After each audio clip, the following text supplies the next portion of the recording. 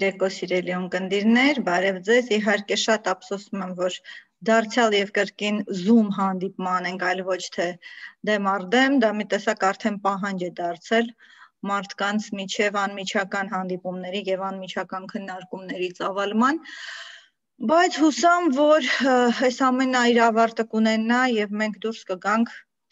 այն բազում բազում ճգնաժամերից, որոնցում հայտնվեցինք այս չարաբաստիկ 2020-ին շատ հաճելի էր հրավերը Վիկտորիայի, որովհետև այս թեմայի շուրջ արդեն բավականին երկար քննարկումներ են ծավալվում տարբեր իսկ կազմակերպությունների շրջանակներում, տարբեր իսկ նախաձեռնողական խմբերի հետ։ Թեման արդիական է նաև այն պատճառով, որ այսօր մեր ակտիվ բառապաշար են մտել բազմաթիվ հասկացություններ, որոնք առաջներում չկային։ Միայն 3 3 երեկոյան, նո լույս առավոտ ժամանակահատվածում ես ինքս հաշվեցի, թե քանի անգամ գրվեց եւ քննարկվեց ինֆոտերոր հասկացությունը, ինֆորմացիոն վակուում հասկացությունը, եւ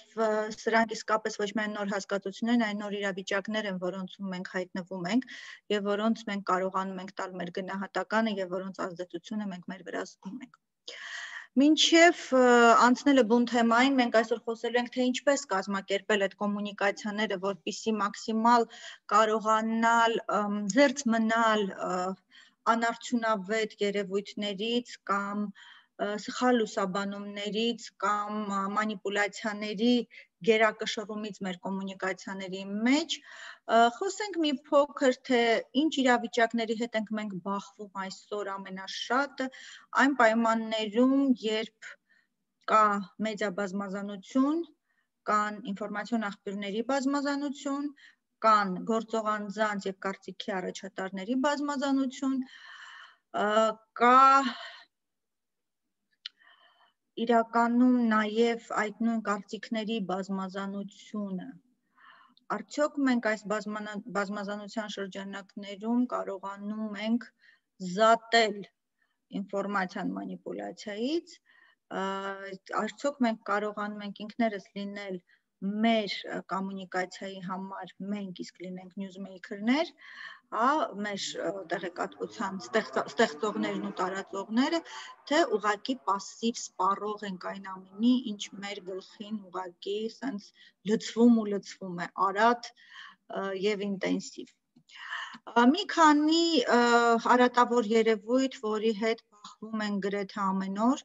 նո ինչ ասեմ, ամեն օր օրվա մեջ մի քանի անգամ, հա, այնց ինչ կա բոլ-բոլ։ Միայն երեք մենք տեսանք, որ նույն ժամանակ նույն իդեպ ասեմ ձեզ նույնիսկ համեմատել եմ, որ նույն րոպեին, ասենք 23:09-ը Վարգոնզոն տալիս է 1 լուր, մեր տեղեկատվականը տալիս է 1 այլ լուր, երկուսն էլ Telegram ալիքներով, Facebook-ը դեռ քնած է, Facebook-ը հետագայում դա արտատպում է եւ պաշտոնական աղբյուրները ուշանում են գրեթե մի քանի ժամով կամ ընդհանրապես չեն արձագանքում։ Հիմնական դարդուցավը ժամանակակից աշխարհի դա այսպես կոչեցյալ fake news-ն է, այն ինչ սովետի ժամանակ մենք շատ գեղեցիկ արտահայտությամբ ենք նշում դեզինֆորմացիա կամ ապատեղեկատվություն, այսօր ստացել է այսպես ֆիրմային բրենդային անվանում fake news, լուր, որը մասամբ է ճշմարիտ, մասամբ է հիմնավորված կամ փաստացի կամ ամբողջությամբ կեղծ է։ Fake news-ը միայն հայաստանյան դարդուցավը չէ, fake news-ը այսօր ամբողջ աշխարհում է խնդրեմ դարձել եւ խնդրեմ, որի մասին բարձրաձայնվում բարձրաձայնում են նույնիսկ աշխարհի ամենահզոր առաջնորդներն ու ամենահզոր կառույցները։ Նո Տրամպի բազմաթիվ ելույթները fake news-երի վերաբերյալ դուք նաեւ լսել եք fake news-ի խնդիրը նաև Ադրբեջանում է շատ ուժեղ ասում ձեզ, մենք չենք մենակ սրա տարապալից սպառողները։ Մյուսը չգիտեի ոնց թարգմանել իրականում, թարգմանել եմ հենց բոլոլա, ռուսերեն շատ սենց կիսա սլենգային սրաջ բառն է, որը որ ստեղծվում է հիմնականում համացանցային հարթակներում, երբ հարթակներ գծվում է որոշակի թեմա, այն ծամծմելու եւ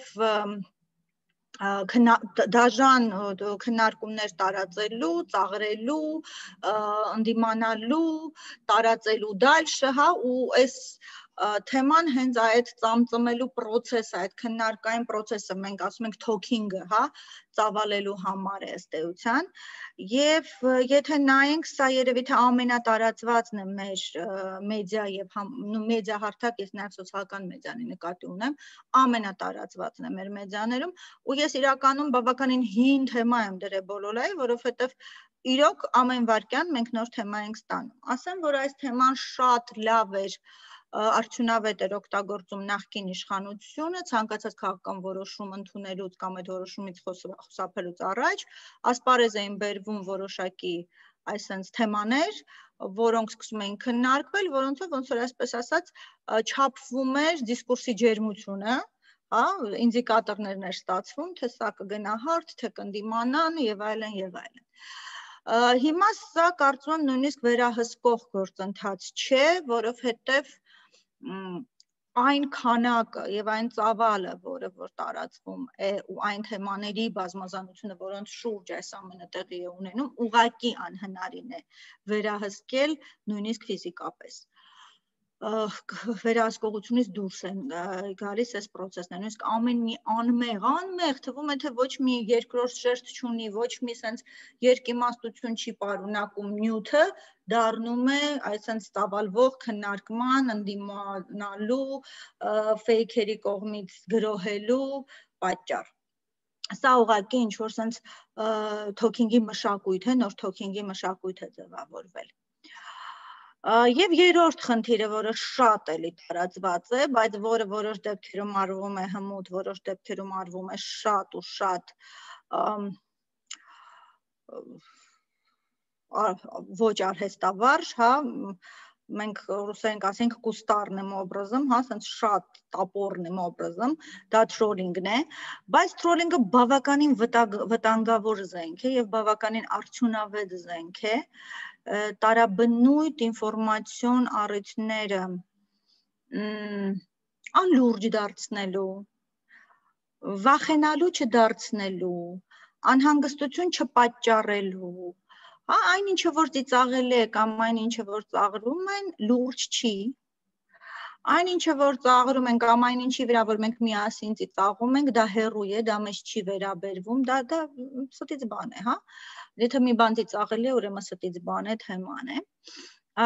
Հայկական իրականության մեջ տրոլինգն էլ նույնպես շատ տարածված է, բայց մենք իսկապես ունենք տրոլինգի շեդևրներ եւ ունենք բավականին չհաջողված, վատ կիրառվող մեմեր, Եթե դες հետաքրքրի հոդված ունեմ հենց վիզուալ մեմերի մասին քաղաքականությունում, մի քանի օրից երևի լույս կտեսնի հենց բամբերում քաղաքագիտության ԵՊՀ-ի հենց հատուկ որպես վիզուալ հաղորդակցման միջոց եմ, քաղաքական վիզուալ հաղորդակցման միջոց եմ դիտարկել համացանցային մեմերը, որոնք գործիք են, էլի գործիք են, վիզուալ ազդեցության գործիք են։ Իսկ այսօր այս ժամանակներում, երբ որ մարդկությունը ստանում է մեկ ժամանակի միավորում մոտավորապես 5 անգամ ավել տեղեկատվություն, քան իր ողջ պատմության ընթացքում, այսինքն շուրջ մեր ուղեղը գտնվում է տեղեկատվական, չգիտեմ, գնդակոծության, գրոհի տակ անընդհատ։ Այսինքն մենք ստանում ենք այնքան տեղեկատվություն, որը մեզ պետք չի, որը մենք չգիտենք ինչպես օգտագործենք պրակտիկայում, որը մեզ ոչինչ չի ասում, որը մեզ չի վերաբերում, այսինքն նույն այն հանգամանքը գավտի վերջին էպիգրաման ինչ է եղել, որը մենք այսօր ստանում ենք, մեզ կարող է ընդհանրապես չհետաքրքրել մեզ չվերաբերի առհասարակ բայց մենք դա ստանում ենք մենք դա ուտում ենք մեր յենթագիտակցությունում դա ասենց շերտ առ շերտ դասավորվում է եւ այդ ամեն ինչը բերում է մի իրավիճակի որը երեք հիմնական հատկանիշներով է հնարավոր բնորոշել ու բոլորս ենք դրա տակ, բոլորս անխտիր։ Առաջինը դա հասարակական գիտակցության հատվածայնացումն է, ֆրագմենտացիա։ Որպիսի պատկերացնեք, սա բնորոշվում է մի իրավիճակով, որ մենք ժամանակ չունենք մարսելու մեզ եկող տեղեկատվությունը եւ արդյունքում մեր գիտակցությունում ստեղ մի հատ sense բան պատկերացրեք, էլի sense մի հատ արկղ է, որի մեջ մի 4-5 puzzle է, այն շատ-շատ քարերով, շատ-շատ հատիկներով, ասենք 2.5 puzzle-ներ են, բոլորը խառնված։ Եվ մենք ուղակի չունենք ժամանակ այդ puzzle-ները գոնե մի քանի հատ իրար հետ կպցնենք։ Եվ այդ գիտակցության հատվածայնության պայմաններում մենք ապրում ենք, մենք կորցնում ենք, եւ դա երկրորդ հատկանիշն է, աշխարհի միասնական պատկերը։ մենք կորցնում ենք պատճառահետևանքային կապերը երևույթների։ Մենք կորցնում ենք ընդհանուր կարտինկան, ընդհանուր նկարը, որովհետև կոնկրետ որոշակի պահից զբաղված ենք երկու կամ երեք հատիկ իրար կպցնելով։ Եվ երրորդ խնդիրն է ստեղ առաջ գալիս, որը երկուսից բխեցվում է։ Մենք դառնում ենք շատ լաբիլ, շատ զգայուն ու շատ ենթարկվող մանիպուլյացիաների համար, որովհետև տեղի է ունենում գիտակցության կարծրատիպացում։ Ինչը ինչի համար ժողովուրդ, ինչի է դա կա տեղի ունենում, որովհետև երբ որ դու կորցնում ես աշխարհի ամբողջական պատկերը, դու ինքդ սկսում ես փնտրել նույնիսկ տեղ կա բան, հա, ինքնապաշտպանության ռեֆլեքս, դու անորոշության պայմաններում ապրել չի կարող մարդը։ Դա վտանգում է իրեն, եւ դու սկսում ես փնտրել որոշակի ալգորիթմներ, այդ պատկերը վերականգնելու, ինչ որ puzzle-ներ իրար կպցրու, եւ եթե ինչ որ մեկը քեզ ասում է, գիտես ինչ, բոլոր կապույտները իրար կպցրու, դու մեծ շնորհակալությամբ ես դա անցալում։ Մեծագույն շնորհակալությամբ, որովհետեւ դա քեզ ինչ որ մի բանաձև է, այդ հատվածայնությունը ինչ որ կերպ լուծելու ու ոչինչ որ այդ կապույտները իրար կպցնելը իրականին իրական քեզ չի օգնի տարբեր puzzle-ների մեջ են այդ կապույտները տարբեր կապույտների երանգներ կան եւ այլն բայց այդուհանդերձ գոնե ինչ որ բանաձև կա այ որ քեզ ասում են Lady Gaga-ն է իր կլիպի մեջ ասել այ դա է բանաձևը ու դու ասում ես վաու ճիշտ ասել 9-11-ը ասել չգիտեմ այ այնտեղ կա հենց գորժ գայլերի սիմվոլիկան վայ բա ինչի չի ասել երբ հա ուրեմն դեռ չի վերջանալու հա կամ բանաձև ամեն ինչում Պուտինն է մեղավոր ուռա գտանք բանաձև ու սկսում ենք ամեն ինչի մեջ գտնել որ հենց Պուտինն է մեղավոր հա ու սա ստեղծում այդ կարծրատիպերի հարուստ pašար ու մենք դառնում ենք մանիպուլացված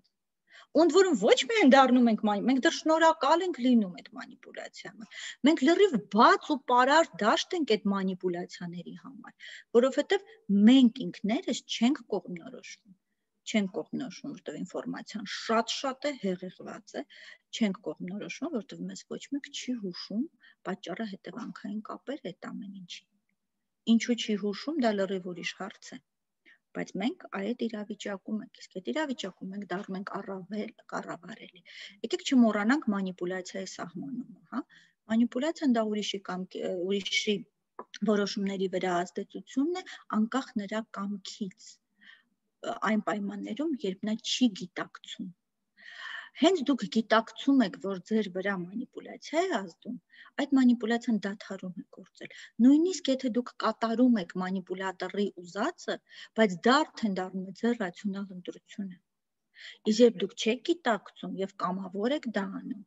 դա արդեն դա դեռ մանիպուլյացիա է, հա։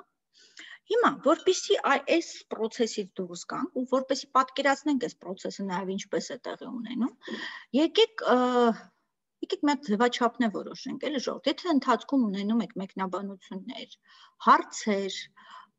եթե կարիք կա ինչ որ բան ասել, եկեք չսպասենք իմ ելույթի վերջին, որտեղ sense մենախոսություն շատ շատ դիսկոմֆորտ է։ Ձերք եք բարձացնում կամ միանում եք հանգիստ ընդհատում եք եւ խոսում եք դա նաեւ ինձ կօգնի ճիշտ հունով տանել այս խոսակցությունը եւ ձեզ ավելի պիտանի լինել Ես իրոք կարող եմ դες շատ պիտանի լինեմ, որովհետև ես դաշտում եմ մոտավորապես 20 քանի տարի ու զբաղվում եմ հենց սրանով 20 քանի տարի։ Լսում եմ ձեզ Արթուր ջան։ Շնորհակալ եմ, ես սպասում եմ վերջին որ հարցը տամ, ճիշտ ասած, ձեր նախորդ սլայդում մի տերմին կար, որը կուզեի որ դուք բացատրեք, թե կարող եմ դուք Google անեմ, բայց երևի ճիշտ է դուք բացատրեք ինֆոլոգեմը, ինձ համար նոր տերմին է, ճիշտ ասած։ Ուրեմն, ինֆոլոգեմը Շատ լավն էր ձեր հարցը։ Ինֆոլոգեմը դա ստեղծվել է համացանցի ստեղծման հետ զուգահեռ, եւ ինքը իրենից ներկայացնում է տեղեկատվության միավոր, տեղեկատվական միավոր, որը կեղծ է որը հենց fake news է, որը հենց դեզինֆորմացիա է։ Ինֆոլոգեմի բնորոշումը դա երկարակյացությունն է։ Դրանք վերացնել գրեթե անհնար է։ Պատկերացնեք, չէ՞, ինչ որ մի սուտ ինֆո է գնում, այսինքն Lady Gaga-ն կանխատեսել է այս պատերազմը։ Գրվում է դա, ասենք, չգիտեմ, 4-5 ամիս առաջ, ու նույնիսկ արդեն հերկվել է, բոլորս չենք հավատացել, անձամբ Lady Gaga-ն ասել, որ դա պատահականություն, հազար բան ա եղել, բայց դա պահպանվել է համացանցային արխիվներում դա պահպանվել է արխիվներում ու ասենք մի 5 ամիս հետո էլ ինչ որ մեկը կփնտրի նոյեմբերի 11 իրան կբերի այդ հոդվածը ու ինքը չի նայի հետո որ եղել են բազմաթիվ հերքումներ ինքը դա կկիրառի ու կասի այ տեսեք նույնիսկ 9 ամիս առաջ սրա մասին գրվել ու խոսացվել է ինքը կպչուն կենսունակ երկարակյաց fake news-ը, որը պահպանվում է շնորհիվ հենց համացանցի շատ հաճախ համացանցային այդ արխիվներում եւ որոնողական համակարգերում։ Ու ինչը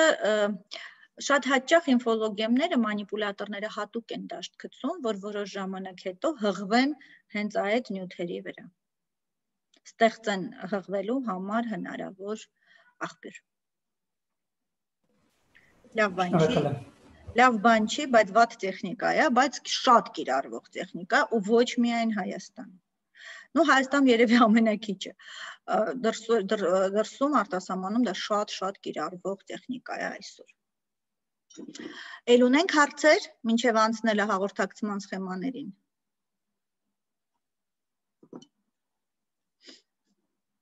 Քանի որ ես բոլորի չեմ տեսնում, ահա։ Ախ, ինչ լավ դեմքեր են։ Լավ, որ լինի հարցեր ինձ բզեք։ Ես շարունակեմ։ Ну հաղորդակցման սխեմայի հետ դուք երևի թե բոլորդ քաչ ծանոթ եք եւ նախ կուզենա այս հատվածը սկսել նաեւ սահմանումից թե ինչ է հաղորդակցությունը հաղորդակցությունը դա տեղեկատվության փոխանցումն է ինֆորմացիայի փոխանցումն է նայեք ես չեմ ասում փոխանակում որտեղ հաղորդակցությունը կարող է լինել նաեւ միակողմանի եւ շատ դեպքերում եթե մենք դիտենք պետական մակարդակներում Եթե ձեր հասարակությունը դեմոկրատական չէ, մենք հիմնականում գործ ունենք հենց միակողմանի կոմունիկացիայի հետ։ Մենք գործ ունենք քարոշչության հետ, այլ ոչ թե PR-ի, հա։ Մենք գործ ունենք ագիտացիայի եւ քարոշչության հետ, որոնք միակողմանի են, որտեղ feedback-ը հասարակության արձագանքն ու կարծիքը մեզ չի հետաքրքրում։ Քարոզչությունը թելադրողական է, քարոզչությունը պարտադրող է, քարոզչությունը օգտագործում է կոշտ տեխնոլոգիաներ։ Քարոզչությանը չի հետաքրքրում, քեզ դա դուր եկավ, դու ինչ կարծիք ունես, դու կուզենաս այս մասով համաձայնվես, այն մասով չէ։ Իրան հետաքրքրում է միայն այն, որ դու ենթարկվես ի տարբերություն քարոշչության PR-ը, որը սերվել է քարոշչությունից, ծնվել է քարոշչությունից, ավելին դա քարոշչության շատ հետաքրքիր մուտացիա է, որովհետև PR-ը ներկայացվում էր տարիներ շարունակ որպես դրական քարոզչություն, ի հակադրում նրա, որ քարոզչությունը երկու համաշխարհային պատերազմների ընթացքում հարցրել այ այսպես հոգնեցնել մարդկանց եւ դարձել էր բավականին բացասական հասկացություն,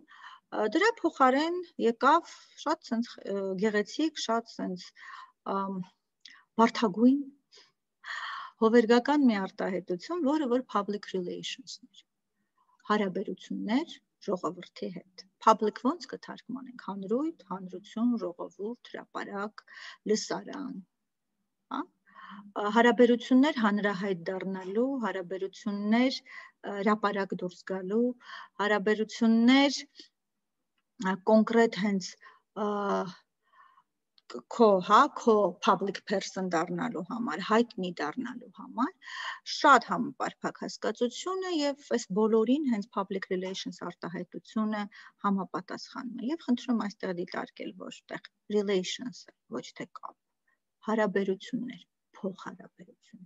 եւ այս տեսանկյունից PR-ը ինքը անպայման երկկողմանի է եւ PR-ի բարագայում մենք խոսում ենք հենց տեղեկատվության փոխանակման մասին ամենապարզ սխեման հաղորդակցման առաջարկել էր դեռևս Արիստոտելը իր ռետորություն աշխատանքում, որտեղ դիտարկում էր ռետորի ազդեցությունը լսարանի վրա եւ ասում էր, որ այդ ռետորությունը ինքը դեռ կոմունիկացիա բառը չէր օգտագործում, մենք այսօր դա փոխարինում ենք կոմունիկացիա, բաղկացած է էթոսից, խոսողի ներքին նպատակներից, մղումներից, տրամադրությունից լոգոսից, այն մտքից, այն իմաստից, որ մենք ուզում ենք, որ հասնի լսարանին, եւ պաթոսից, հաղորդագրության հասցեատիրոջ, ներքին մղումներից, պատրաստակամությունից ստանալ այդ տեղեկատվությունը եւ արձագանքել դրան։ Հետագայում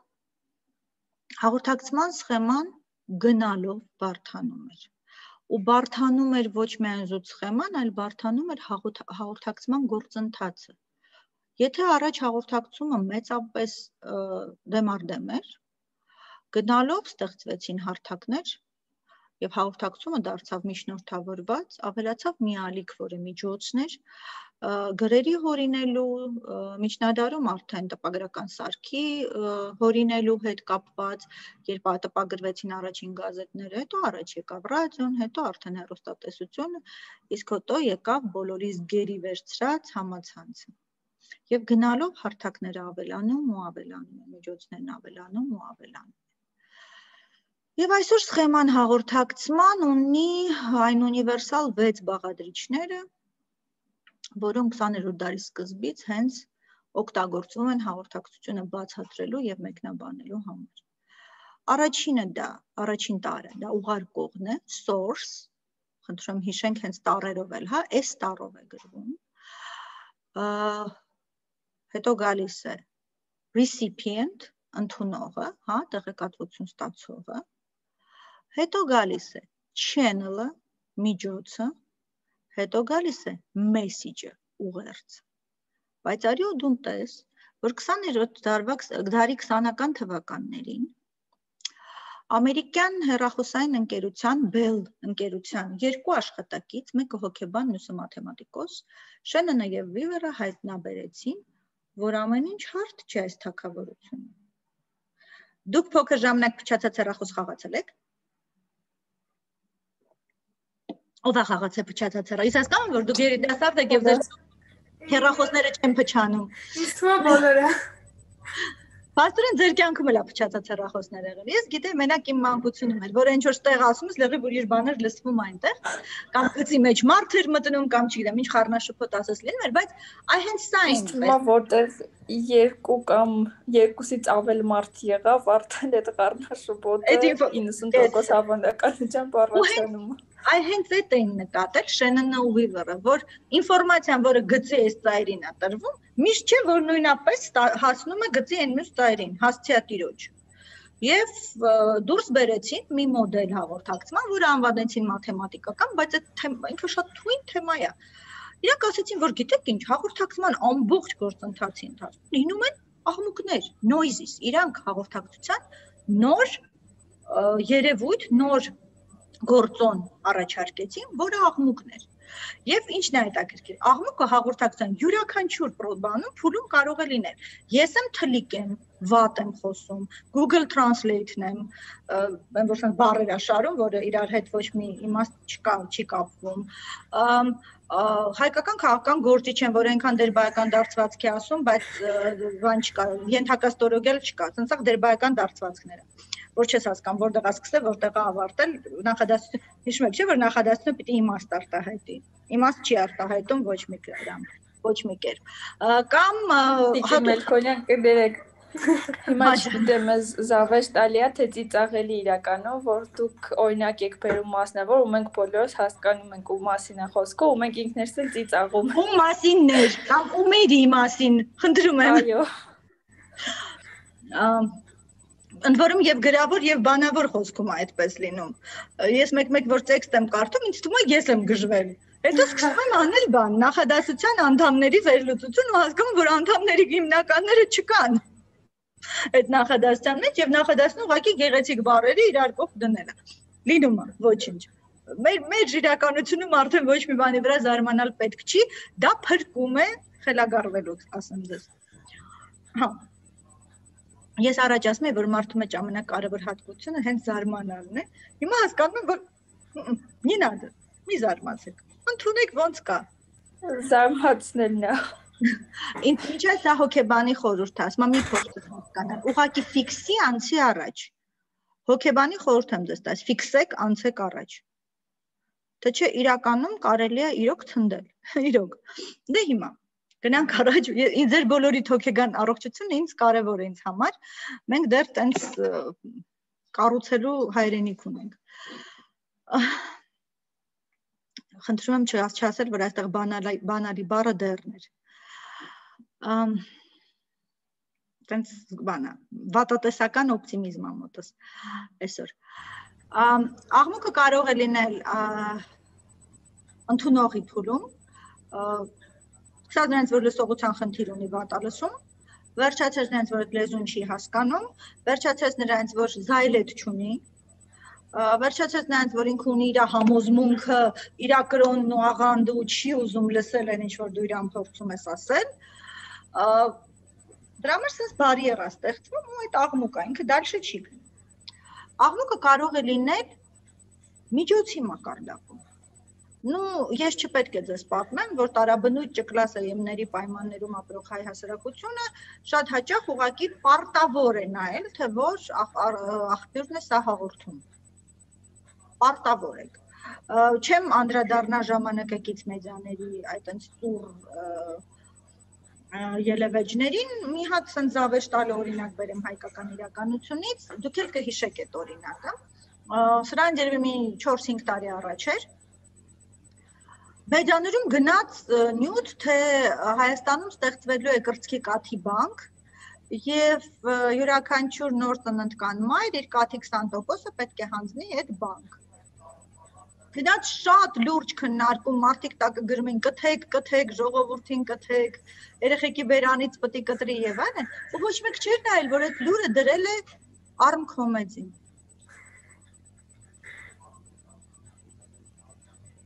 Այսինքն այս խեղաթյուրումը կարող է նաև այստեղ լինել, իրոք լինել այստեղ։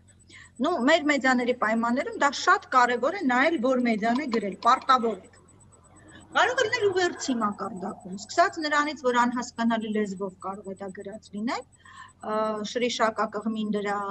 անտարակույսա հետ այսույական բառապաշարով, բայց կարող է լինել, ասենք, կվանտային մեխանիկայով դուք դա չեք տիրապետում դրա բառապաշարին, կարող է այնպիսի տերմինակողարված լինի, որ դուք չբացեք ճակերտներ ու չհասկանաք ինչ է գրված, կարող է շեշտադրումները սխալ արված լինի ու դուք չհասկանաք, կարող է կոնտեքստից կտրվել ու դարձյալ չհասկանաք, այսինքն ստեղ լինի աղմուկ։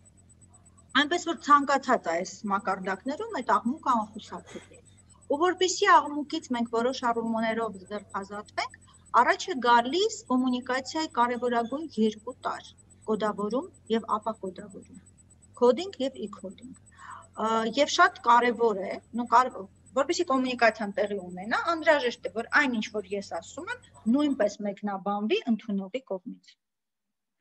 Նույն, ասենք, ժորդ, որ ես չդնեմ smiley-իկ, իսկ Արտուրը մտածի, այս կետ փակագիծը ինչու է դրել, Էս ինչ էր ուզում սրանով ասել։ Հա, եթե ես դնում եմ ժպտացող սմայլիկ, Արտուրն մեկնաբանում դա որպես ժպտացող սմայլիկ։ Կամ ես հիշում եմ կապսլոքով գրած տեքստի տակ մեկը գրել էր ինչու ես վրաս բղավում։ Ասենք ես էի չգիտեի, որ կապսլոքը նշանակում է բղավել։ Հա, մենք հիմա խոսում ենք այդ տենց սիմվոլների կիրառման եւ սիմվոլների մեկնաբանման առումով դա շատ կարեւոր է, որ կարեւոր է մենք ճիշտ մեկնաբանենք գորշ եւ դժգույնը արդյոք դա այդպես է թե այդպես չէ թե կոնտեքստից էր կտրվել թե մեզ ինչ որ մի բան էին փորձում հասնել հասնել դրա միջոցով հիմա 20-րդ դարի ամբողջ ընթացքում կոմունիկացիան եղել է հետազոտողների ուշադրության ներքո նախ որովհետև 20-րդ դարը կոմունիկացիոն տեխնոլոգիաների անընդհատ բարթեցման եւ բազմազանեցման ժամանակահատված էր եւ երկրորդն էլ այն առումով որ դրանք կտրուկ ազդեցություն էին թողնում հասարակության վրա նախ հենց երկու համաշխարհայինները որոնք մենք բոլորս էլ արդեն շատ լավ հասկանում ենք, որ պատերազմները ոչ միայն մարտի դաշտերում են վարվում, այլ նաև տեղեկատվական դաշտերում, եւ այդ երկու համաշխարհային պատերազմները հստակ ցույց տվեցին, թե ով էր տեղեկատվական դաշտում հաղթողը եւ ում քարոզչություններ ավելի ազդեցիկը, եւ ինչ միջոցներ էին կիրառվում եւ դրանից հետո եղավ ամենա ամենասենց բեկումնային հայտնագործությունը դա հերոստացույցի հայտնագործություններ, որը շատ արագ փոխեց հասարակությունը, ուղակի նրան շպրտելով լրիվ ուրիշ դար, ուրիշ ժամանակահատված, ընկալումների ուրիշ կոնտեքստ։ Մենք հայտնվեցինք պոստմոդեռնում հա, միանգամից հայտնվեցինք պոստմոդեռնում, որը սկսեց սпасարկել ամեն ինչ, սկսած մեր սպառողական վարքից, գովազդի, PR-ի, մարքեթինգի, վաճառքների սիմվոլիկայի, վաճառքների հաղորդակցների եւ այլնի միջոցով տալով մեզ պատրաստի կլիշեներ, պատրաստի նմանակման կամ նմանակելու օրինակներ վերջացրած, հա, ուղակի կանոններով, կանոններից, որոնք որ մենք սկսեցինք կիրառել մեր կյանքում։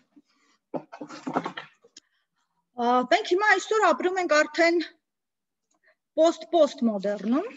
եւ հետ-հետ արդեականությունը ոչ ավելի լավ իրավիճակ է, այդ թե ոչ ավելի վատ։ Մենք ոչ միայն հիմա սպառում ենք այն կոնտենտը, որը մեզ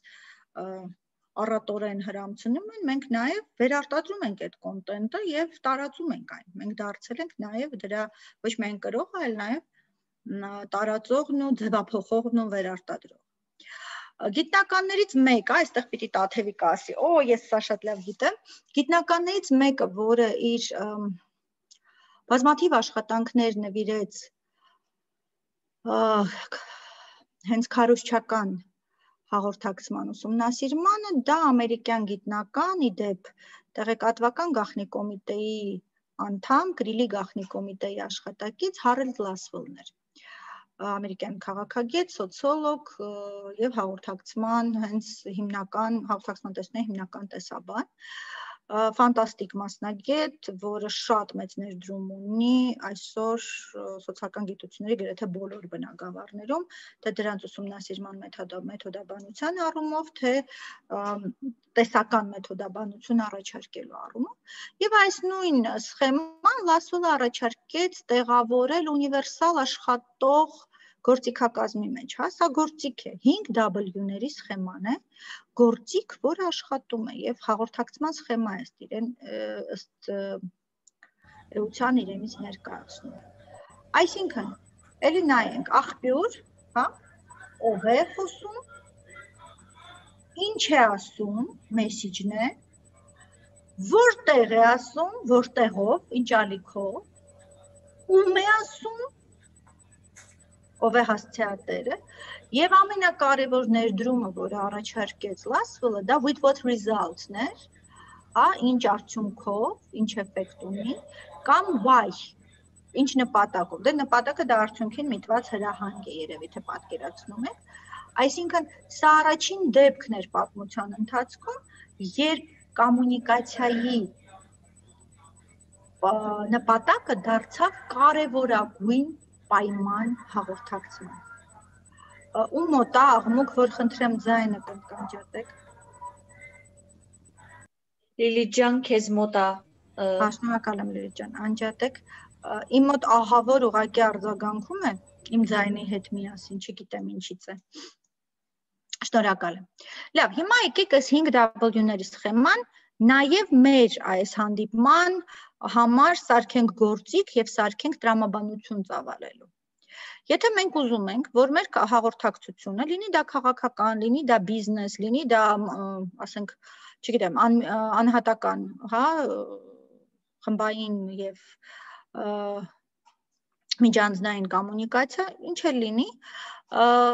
մենք գրանք այս սխեմայով։ Առաջին հերթին մենք պետք է հասկանանք ով է խոսողը։ Ճիշտ է՞։ Եվ այսինքն վերլուծենք մեզ, մեր կազմակերպությունը, մեր կուսակցությունը, մեր եթե առաջ քաղաքական առաջնորդը իր անձը որպես կոմունիկատոր հասկանանք ով էինք։ Եւ այդ հասկանալու համար ամենալավ, ամենասիրուն, ամենապուպուշ, ամենաֆանտաստիկ գործիքը դա SWOT վերլուծությունն է։ Վստահ եմ, որ դուք բոլոր տիրապետում եք SWOT վերլուծությանը։ Ճիշտ է։ Չանդր, ինչ եղավ։ Չանդրադառնամ, էլի չբացատրեմ։ Կարծում եմ, որ գիտեք, կարծում եմ, որ կիրառել եք, պիտի նորից ու կրկին ասեմ, որ շատ աշխատող գործիք է։ Աշխատող գործիք է նաև այն առումով, որ դու դու կարող ես սկսել այդպես մտածել։ Զուտ գնահատել ցանկացած բնույթի իրականություն SWOT-ի միջոցով առավելություններ, թերություններ ու եկեք հա ամենակարևորը ճյուղակի պիտի նշեմ առավելությունները թերությունները ձերն են ձեզ են վերաբերվում ձեր կազմակերպությանը, ձեր քաղաքական առաջնորդին, ձեր ձեր կուսակցությանը, ձեր քաղաքական ուժին։ Հնարավորությունների ռիսկերը դրսից են, հասարակությունից եկողներն են։ Սկսած նրանից, որ կա, չգիտեմ, քաղաքական առաջնորդի պակաս, մարդիկ հուսահատված են, կա աղբյուրների պակաս, ճշգրիտ տեղեկատվություն տվող, դա դրսի ռիսկ է եւ որպես հնարավորությունն էլ, ասենք նոր դեմքերի կարիք կա, նոր մարդկանց անհրաժեշտություն կա եւ այլն։ Դա դրսից եկած հնարավորություն։ Մենք երբեք չենք լրացնում SWOT-ը զուտ մեր սեփական հայեցողությունից ելնելով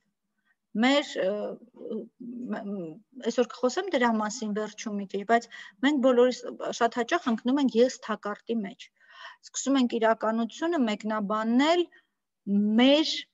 դիտանկյունից մեզնից ելնելով ինչպես մենք կանենք ինչպես մեր շրջապատն է ժողովուրդ մենք ու մեր նմանները առնվազն ասենք չգիտեմ 5-ից 10%-ն են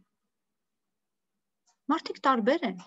եւ երբ որ դու սկսում ես ուղղորդվել քո եսով դու կորցնում ես, կորցնում ես մնացածի մասին պատկերացում կազմելու հնարավորությունը։ Դրա համար SWOT-ը մենք լրացնում ենք իրականում լուրջ հետազոտություններ անելու հետևանքով անպայման չէ դուք հենց ձեռնամուխ լինեք սոցիոլոգիական հետազոտություններ նախաձեռնելու, կարող եք օգտագործել արդեն իսկ արված հետազոտությունները։ Ես այսօր տեսա ձեր էջին Վիկտորյան դրել է ռեգիոն հետազոտական կենտրոնի հետազոտություններ։ Այսօր ես եմ վերադառնալու իրազը քաղաքացիների միավորման արած հետազոտություններին։ Հետազոտությունները հանգիստ կարող եք վերցնել, կիրառել, կարող եք ինքներդ անել մեդիա մոնիտորինգ, կարող եք անել սոցցանցերի վերլուծություն, բայց շատ կարևոր է, որ այն տվյալները, որոնք դուք SWOT-ում տեղադրում եք, դա չլինեն մատից հոտ քաշել, այլ լինի իրականության մաքսիմալ համապատասխան տեղեկատվություն, որ դուք չխառնվեք, որ դուք ճիշտ գործեք։ Իդեպ եւս մեկ բան, SWOT-ում միշտ ի նկատի ունեցեք, որ նույն երևույթը, որը կարող է ձեր համար լինել առավելություն, ուժեղ կողմ, նույնպես կարող է լինել թույլ կողմ։ Այսինքն այն հանգամանքը, որ դուք օրինակ public person եք եւ միշտ գտնվում եք մեդիաների ուշադրության կենտրոնում, դա ձեր ուժեղ կողմն է։ Ձեզ լրացուցիչ ջանքեր պետք չեն, որ մեդիաներին ձեր վրա կենտրոնացնեն, բայց դա նաեւ թերություն է։ Ձեր ամեն մի ախմախ քայլն էլ է հայտնվում մեդիաներում։ Այն հանգամանքը, որ դուք երիտասարդ աղջիկ եք, դա ձեր առավելությունն է, որովհետև քաղաքականության մեջ քիչ են երիտասարդ կանայք առաջադեմ, հերանեկարային, բայց դա նաև մեր պուրիտանական, չգիտեմ, նահապետական եւ անհասկանալի հասարակության բարքերի եւ արժեքների տեսանկյունից դա կարող է լինել ձեր ամենախոցելի կետը։ Չհաշվարկել դա նշանակում է հետո sense գալ եւ առերեսվել ամենացավոտ ձևով։ Հաշվի առեք։ Ձեր անուն ազգանը նույնիսկ կարող է լինել ձեր համար առավելություն եւ Ես հիշում եմ մենք աշխատում ենք մի քաղաքական գործչի հետ, ամենապոպուլյար անուն ազգանունով, ամենատարածված, նույն հիմա մենք նույնիսկ նախագահ ունենք, ամենապոպուլյար եւ ամենատարածված անուն ազգանունով, հա։ Եվ իրականում, հա, անուն ազգանունը մոռանալ չի լինի, բայց նաեւ ամեն անգամ հանդիպելուց պիտի մտածես ինքնա թե ինքը չի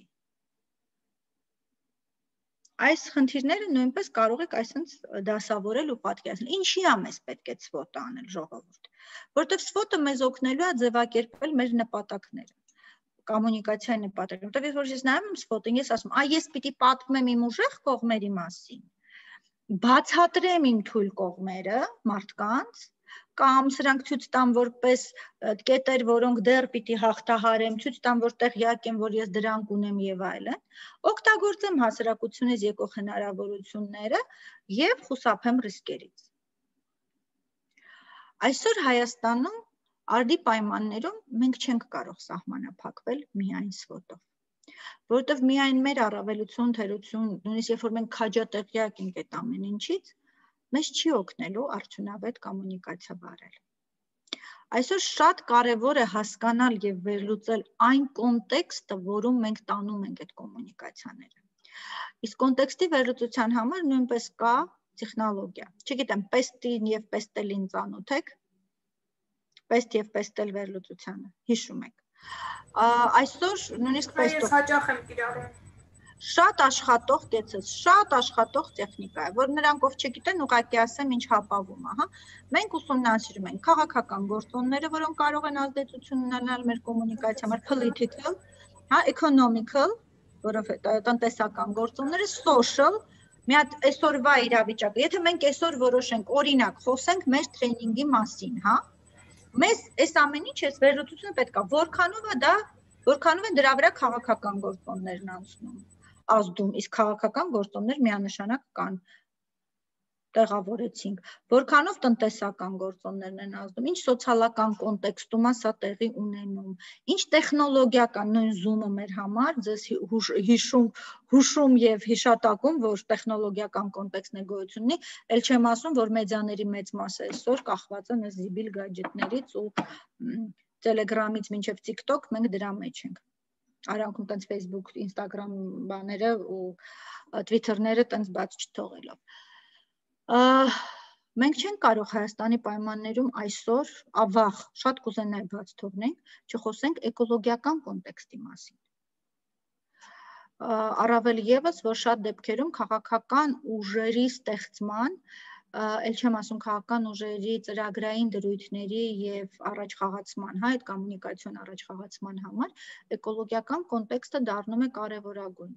Մի երկիր, որ ունի Սևան, ունի Ամուրսար եւ ունի բազմաթիվ հանքեր, քաջարան եւ այլն եւ այլն, զերծ չի կարող մնալ էկոլոգիական, առավել եւս հիմա ավելի է ուժ գնանում, որտեղ գիտեք, որ գետերի ակունքները մնացին ճշնամու ձեռքում եւ այլն։ Եվ մյուս, այսպես ասած, հապավումը դա legal-ն է ու այսօր սա նաև էլի առաջնային է դառնում մեր կոմունիկացիաներում շատ դեպքերում հղումներ արվում միջազգային իրավունքին, հղումներ արվում մեր սահմանադրությանը, հղումներ են բերվում մեջեր են բերում տարբեր միջազգային փաստաթղթեր, որոնք կարող են կրկավորել որոշակի իրավիճակներ եւ այսօր նույնիսկ առանց այդ իրավական հիմնավորումների մենք չենք կարող ազատ լինել մեր կոմունիկացիաները ծավալելու ընթացքում։ Հաջորդ կարևոր փուլը ով է խոսում, ասենց քիչ թե շատ պատկերացրեցիք։ Մենք շատ լավ պիտի դա պատկերացնենք ժողովուրդ, որովհետև մարդիկ չպիտի Google-են ու մեր մասին դուրս բերեն նենց բաներ, որոնք մենք չգիտեինք, օրինակ,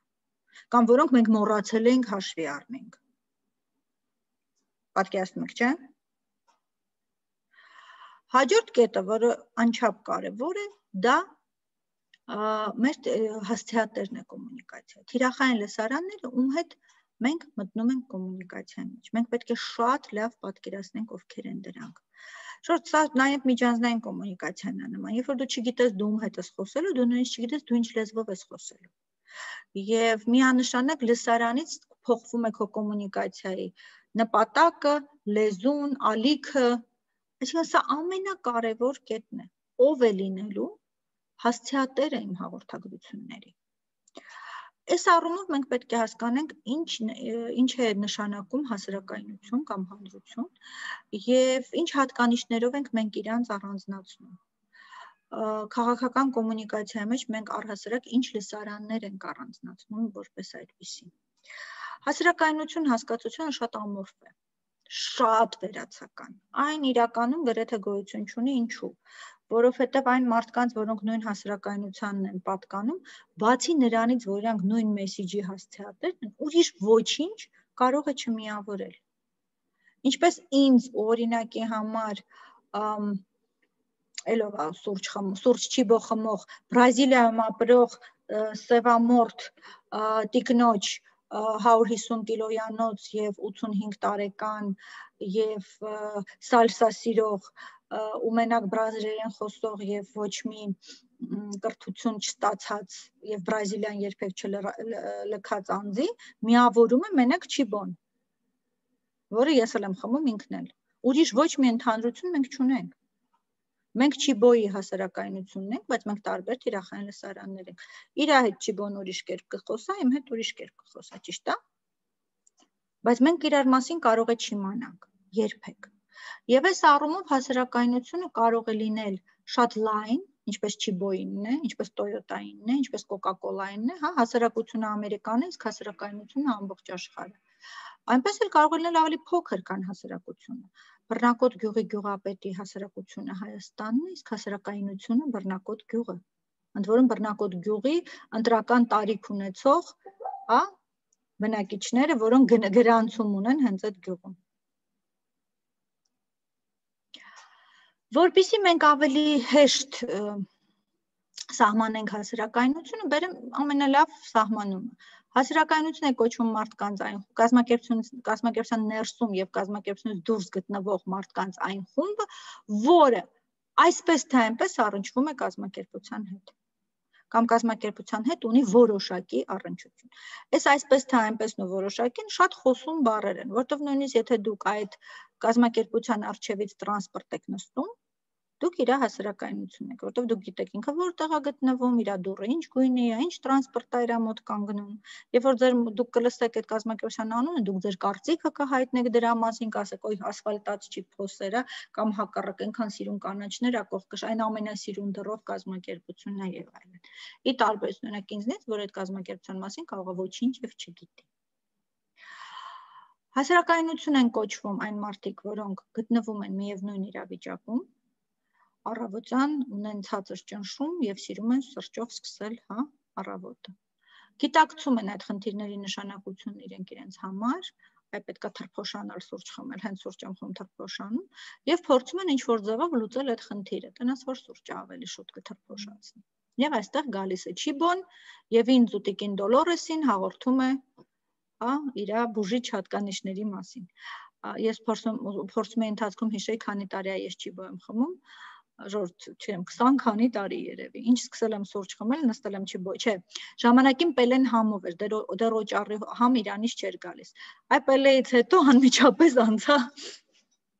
Չիբոյին ու տենց մնացի Չիբոյի հետ։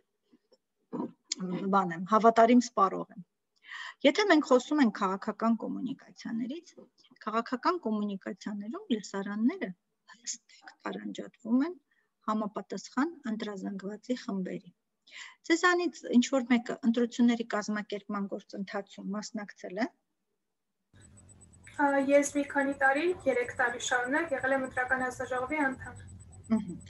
Բայց դու չես կազմակերպել, այսինքն չես աշխատել քաղաքական գործիչների, քաղաքական ուժերի հետ։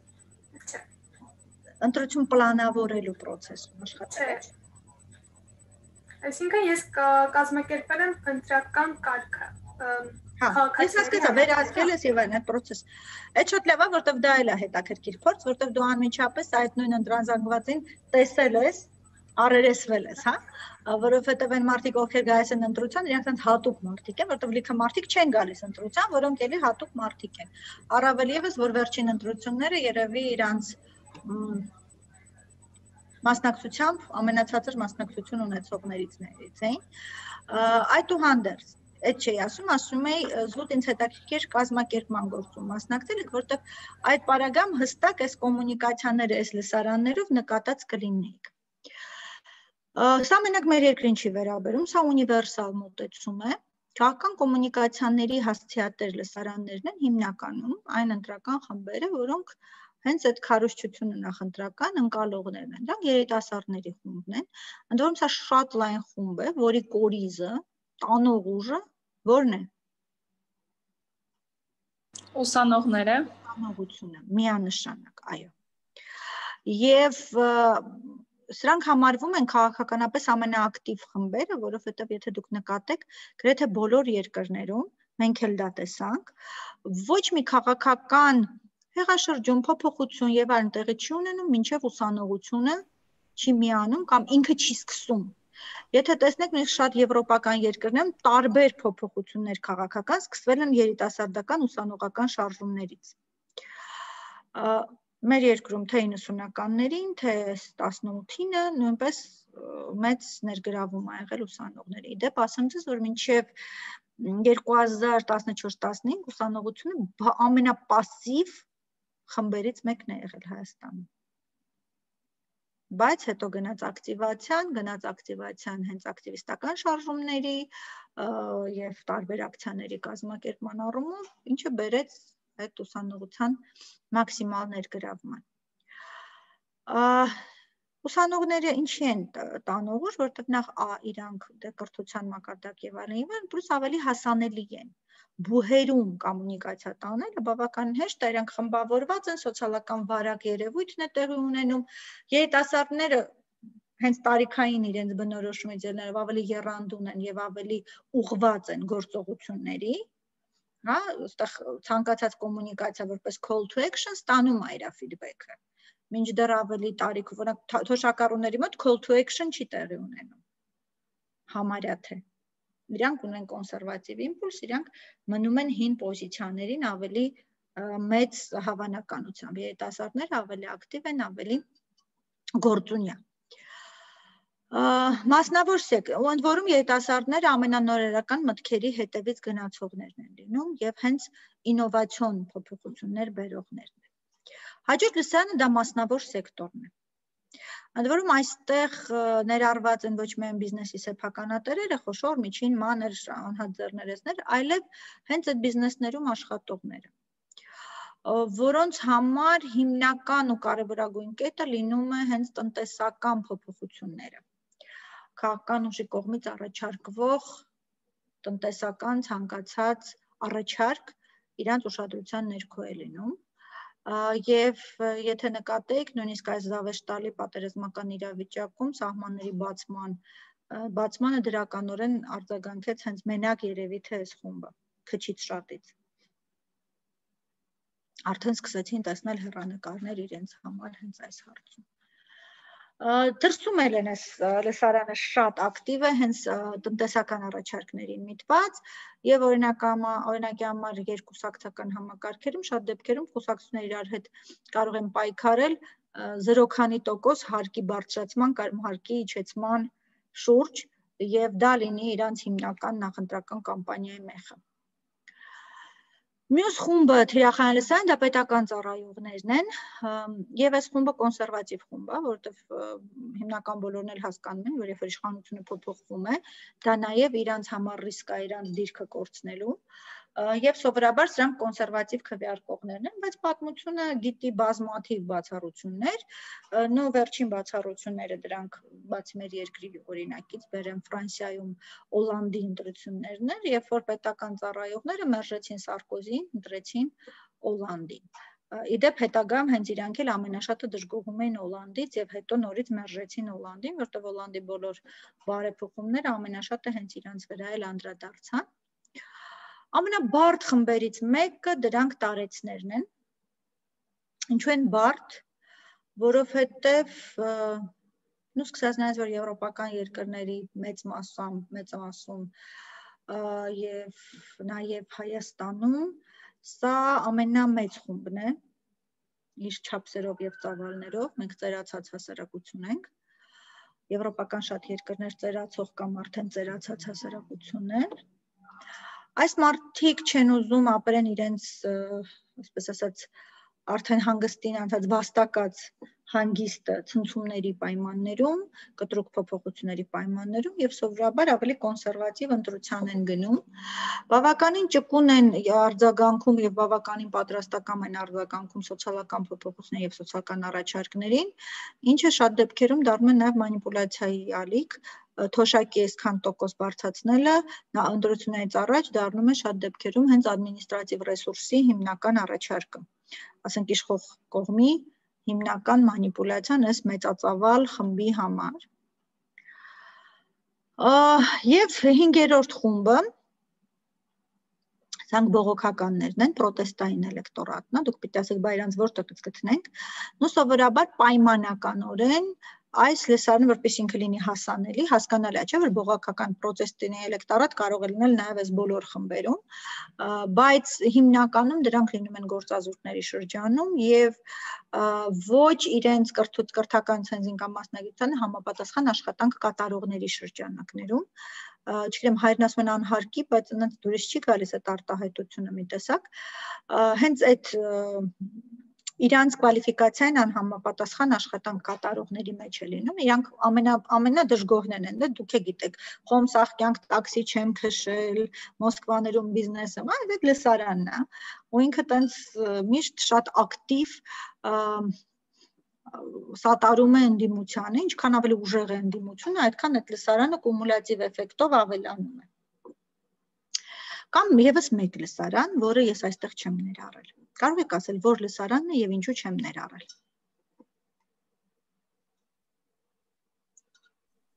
Երեխաները։ Երեխաները չեն ընտրում։ Հա, բայց կներեք։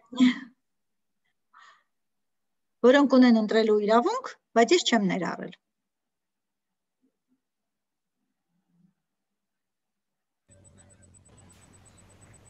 Լավ։ Տանջեմ ձեզ մի քիչ թե ասեմ։ Ես մտածում եի կարող է տնային տնտեսությունները։ Դե իրանք ստեղ միտեղ կլինեն, սովորաբար բողոքականների մեջ են։ Ես ավելի շատ մտածում էի, բայց չգիտեմ, ինչ որ հոգեկան խնդիրներ ունեցողները իրավունք չունեն ընտրել, չէ՞։ Կամ Նրանց մեջ զինվորականները լինում են հոգեք։ Իմ ասած լսարանում մեջ հոգեկան խնդիրներ ունեցողներ լինում են։ զինվորականները չեն լինի, չէ՞։ Չէ։ Այլով։ Այլազգիները։ վերնախավը։ Էլի։ Իսկ ինչու չեմ ներառել, ինչ եք կարծում։ Դե իրենք Որպես իրենք կանոն Որովհետև իրանց են ընտրում հենց։ Նու նաև, բայց էլիտա ասելով սրա մեջ մենք տեղավորում ենք բոլոր տեսակի էլիտաները եւ ֆինանսական եւ քաղաքական եւ մշակութային եւ գիտական եւ այդուհանդերձ այդ բոլորը իրար հետ մեկտեղ կազմում են հասարակության ընդամենը 1-ից 4-5%-ը, ինչը որ տեսակարար կշռի տեսանկյունից շատ քիչ է, բայց սա շատ կարևոր լսարան է, որովհետեւ իրանք կարծիքի առաջատարներ են որովհետև իրանք կոմունիկացիա մեջ ներառնվում են ոչ միայն որպես հաղորդագրությունների ընդունողներ, այլև երկաստիճան կոմունիկացիա պարագայում տարածողներ եւ շատ դեպքերում հենց իրանց ներգրավվածությունից եւ իրանց ազդեցությունից այդ կոմունիկացիայի արդյունավետությունն է լինում կախված թե այս ինչ մարդը ինչ ասեց, այն ինչ մարդը ինչ ասեց։ Հայաստանում արդեն շուրջ 2 տասնյակ տարի է կա սով, ծառավ, չգիտեմ, ինչ կարծիքի առաջատարների ու հենց այս ոլորտի մարդկանց, որոնք կուղորթեն, կտանեն, կբերեն, ովքեր էլ փորձում են ի հայտ գալ շատ արագ, այսպես ասած, դեմքները մաշվում է, որովհետև միանգամից բոլորը սկսում են դիմել ու միանգամից սկսում են օգտագործել այս մարդկանց տարբեր թեմաները կոմունիկացնելու մեջ ու ինքը ասենց մաշվում է։ Հա, սա խնդիր է, օրինակ եթե մենք վերցնենք 90-ականների հետ համեմատենք, մենք այդ ժամանակ ունեինք հստակ կարծիքի առաջատարներ, ում ասած խոսքը ուներ սենց մեծ ծանրության կշիռ Սերգեյ Հարությունյան, Գիգիցյան, Զորի Բալայան, հա, հատվա մարդիկ են, ովքեր Սիլվա Կապուտիկյան, ովքեր Սոս Սարգսյան, հա, ովքեր սենց ասենք տիտաններ էին, հա, իրանց ամեն ասած, մենք մինչև հիմա հələ ցիտում ենք իրանց ասածները տարբեր թեմաների շուրջ Հիմա սա դարձել է մեծ խնդիր գտնել, հա մենք նույնիսկ կարծիքի առաջատար բառն ենք, տենց ինֆլուանսեր բառով փոխարինել եւ մարդկանց հարգանքն ու արժանահավատությունը մարդկանց հանդեպ այդ ակնածանքը փոխարինել ենք լայքերի քանակով, էջերում մասնակցության թվով, հա, տարածվել ենք դրանց շատ ֆորմալ մեկնաբանություններ եւ բնորոշիչներ։ Մենք շատ հստակ հիմա ձեր հետ հասկանում ենք, որ այս բոլոր լսարանների հետ կոմունիկացիան գնում է շատ տարբեր ձևերով, սկսած տարբեր սկսած օգտագործվող լեզուներից, բարձա չէ, որ դուք երիտասարդի եւ թոշակառու եք նույն լեզվով չեք խոսելու, հարթակներից, ը, մեսեջներից, այսինքն երբ որ դու լավ ես տիրապետում քո թիրախային լսարանի ամեն ինչին, դու հստակ կարողանում ես քո կոմունիկացիան դասավորես ու կազմակերպես ա, միշտ ուսանողների sense PR-ը խմբում ասում եմ ժողովուրդ вплоть до психологического портрета դուք պետք է այդ մարդկանց sense պերսոնիֆիկացնեք դուք պետք է իրանց տեսնեք եւ շոշափեք որտեղ դուք պետք է իմանաք օրվա որ ժամին ա, որտեղ է ինքը լինում ա, ինչ է ինքը ստանում տեղեկատվության առումով, հա, ինչ ինքը ունի ձեռքում գրպանում, որ նա իր հարթակը հիմնականում, որի միջոցով դուք կարող եք այդ կոմունիկացիան ասել, եւ ինչպիսի ինֆորմացիա ինքը սիրում ստանալ։ Երբ որ մենք հստակ սեգմենտավորում ենք մեր թիրախային լսարանն ու իրան ճանաչում ենք, մենք սկսում ենք հասկանալ ինչ ուղիներով ենք տանելու մեր կոմունիկացիան։ where, որտեղ ենք տեղավորելու կոմունիկացիան։ Իրազե քաղաքացիների միավորման պատվերով 2019 թվականին իրականացվել էր սոցիոլոգիական հարցում հենց մեդիաներին վերաբերող Իդեպ հետո տեսա, որ ռեգիոնի հետազոտական տվյալները ավելի թարմ են, ես չգիտեի, որ կարող եմ դա էլ օգտագործել, բայց այս բաց աղբյուր է։ 2019 թվականի համար սա երևի թե քանի որ ես սոցիոլոգ եմ մասնագիտությամբ եւ բազմաթիվ հետազոտությունների փորձ ունեմ ամեն տարի շատ-շատ Սա առաջին դեպքն էր ակնհայտորեն, երբ համացանցը որպես բնակչության համար առաջնային տեղեկատվության աղբյուր անցավ հերոստատեսությանը։ Ես կարծում եմ, որ եթե մենք այս հետազոտությունը անեինք 2020-ին, թվերը կլիներ լրիվ այլ то есть այլի համացանցը կներ առաջին տեղում, բայց տարբերությունը այս հարթակների մեջ կլիներ անգամների ոչ թե 1.քանի տոկոսի որովհետև թե կոവിഡ്ը մեզ կպցրեց, դարձրեց համացանցի գերի, թե պատերազմը ամբողջությամբ կախվածություն ձևավորեց համացանցային հարցերից։ Այսօր համացանցն է հիմնական աղբյուրը մարդկանց համար ինֆորմացիա ստանալու։ Ինչա մեզ պետք սա իմանալ երեխեք։ Որովհետև մենք պետք է երբ որ ընտրում ենք հարթակներ, հասկանանք, թե որ հարթակն է մեր համար ամենակարևորը։ Լսում եմ Արտուր ջան հարցը։ Դայն էլ Հա, հիմա լսում եմ երևի թե ես մի հարց ունեմ, երբ որ փոխվում է հերոստա տեղեկատվության ստացման հիմնական աղբյուրը հերոստատուսությունից համացանց, կարող եք ասել, որ այստեղ նաև տեղեկատվության ստացման որակն է փոխվում։ Միանշանակ միանշանակ ու դրա մասին խոսելու եմ մի քիչ ավելի ուշ եմ խոսելու ոչ միայն որակ այլ ժանրներն են փոխվում ձևաչափն է փոխվում հա որակը որպես ավելի քիչ չափելի կատեգորիա դրա ածանցյալներն ունի հա փոխվում է ինտենսիվությունը, եթե դու հերոստատեսությամբ դա ստանում ես, այսինքն մեկ հաղորդաշարի շրջանակում դու հիմա դա կարող ես ստանալ վարկյանը 1, փոխվում է դրա ֆորմատը, փոխվում է հասանելիությունը հերոստացույցի համար դու պիտի լինես կոնկրետ վայրում, որ միացնես այս պարագայում դու ամենտեղ կարող ես ստանալ այդ տեղեկատվությունը, փոխվում են ժանրերը ինֆորմացիայի, գալիս է տարբեր գերակայություններ, վիզուալի, տեքստայինի եւ այլնի համադրությունների առումով ու ամբողջությամբ փոխվում է որակը ստացված ինֆորմացիայի որպես այդպեսին, որպես արդյունք։ Տիկին Մերկոնյան, աջանա Ես էլ կարծում եմ, որ նաև ընտրանքն է կարևոր, այսինքն թե հետազոտության ընտրանքը ովքեր են, եթե մենք ընտրում ենք թիրախային լսարան եւ միջին տարիք ունեցող անձանց մոտ են կատարում հետազոտությունը, կարծում եմ այս արդյունքը բնական է, բայց եթե մենք ընտրում ենք օրինակ տարեցներն են ընտրանքը, կարծում եմ, որ պատկերը կարող է միանգամայն փոխվել, այսինքն կախված թե թիրախային լսարանը տվյալ դեպքում ինչպես կովազդի դեպքում է նույնն էլ սա ովքեր ովքեր են մեր հետազոտության ընտրանքը կազմում իրականում Իցես Մերի ջան բայց հետազոտության ընտրանքը չէ հետազոտությունը պատահական ընտրանքով արվել եւ իր մեջ ներկայացուցչական ընտրանքը ներառնված են տարբեր խմբեր բայց քո ասածդ ամբողջությամբ ճիշտ է որովհետեւ այս նույն տվյալները մենք պետք է կոտրենք cross tab անենք հա այն խաչշաձև աղյուսակներ տարիքի եւ սեռի հետ եւ մենք կհասկանանք այս պարագան, որ տարիքի սեռի, որ կրթության, որ եկամուտի, հա, քանի որ այդ տվյալներն էլ են լրացվում անկետայում, որոնք են ավելի շատ որ հարթակը նախընտրում։ Եվ այս պարագամ ընտրենք արդեն, եթե մենք պիտի կոմունիկացվենք երիտասարդներ, ընտրենք այն, որտեղ երիտասարդները ավելի շատ են։ Դրան օգնում են նաև տարբեր մեդիա չափումներ իրականացնող ընկերությունները, որտեղ ձեր համար որպես ինֆորմացիա ասեմ, ցանկացած TV օրինակ ունի այդ մեդիաչափումներ իրականացնող այդ դավթարները, որը տրամադրում է. Նո Հայաստանում գործողցել է մեդիա կոնտրոլ ընկերությունը, աշխարհում կա ցենց այսպես ասած ոսկե երրյակ, որոնք ամենահայտնի մեդիաչափողներն են Gallup, GfK-ը եւ AGB Nielsen-ը։ Առաջ Հայաստանում գործում էին AGB Nielsen-ը եւ GfK-ը, հետագայում քանի որ սեփականատերը դարձավ նույնը, նրանք միավորվեցին, մեթոդաբանությունը նվիրեցին, այսպես ասած, տոլի գնեցին Հայաստանում եւ հիմնեցին մեր տեղական ընկերությունը, որը այսօր այդ չափումներն իրականացնում է։ Չափումների էությունը գիտեք ինչու՞մ է։ Ընտրվում է ընտանիք, ունիվերսալ ընտանիք, տիպային որ ներկայացուցչական լինեն տարբեր սերնդների առումով, պայմանը մեկն է, որ այդ ընտանիքում լինի մեկ հերոստացույց։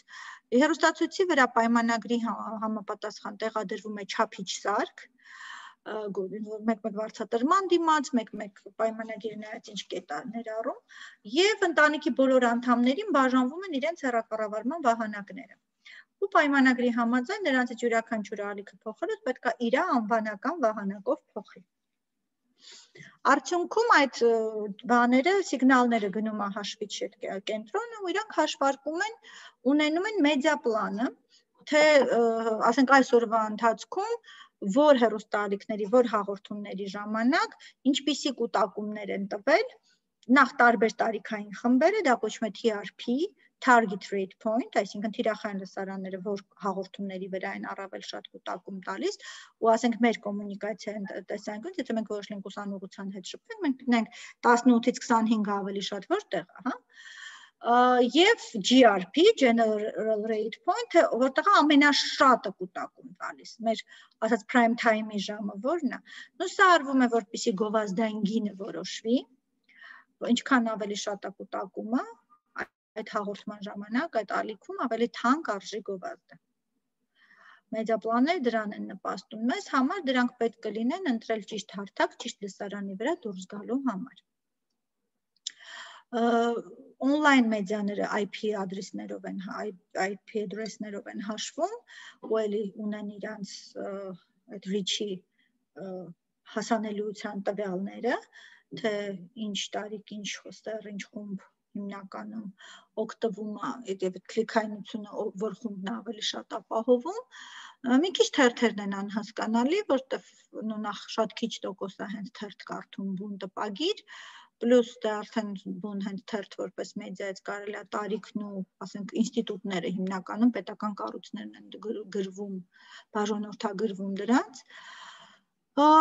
Մնացածը ասենք նույն ռադիոն էլ կարող է այդ չափիչ սարքերով բնորոշել, но հիմնականում ռադիոներն էլ մեքենաքշողների հետ են ավելի շատ ասոցիացվում, որտեղ ռադիոները հիմնականում մեքենաներում են միացվում հատուկ ժամերի, հա, աշխատանքի գնալու, ընդմիջումների եւ օրվա ավարտի։ Այդտեղ գալիս է այդ prime time-երը որպես այդպեսին, բայց հարցը շատ լավն էր, ճիշտ է, որովհետև մենք ընտրում ենք ոչ միայն այս ընդհանուր հարցման արդյունքներով, այլ կոնկրետ մեր լսարանի առումով։ Ու parza որ TikTok-ը մենք չենք օգտագործի թոշակառուների համար կոմունիկացիայի առումով, հա։ Ու նույնիսկ իմ համար չեք օգտագործել, որովհետև կյանքում մտած չկամ։ Ոտս այդտեղ չի եղել։ Ինձ համար հավատացեք։ Բայց դե այսօր ասում են գնացեք TikTok ամենամեծ լսարանն ընտեղ է պատկերացնում եք, չէ՞։ Կարելի։ Եթե հաշվի առնենք, որ 3 տարեկան երեխան արդեն ինքնուրույն կարողանում է դա կառավարել, ուրեմն կարող է Ես որպես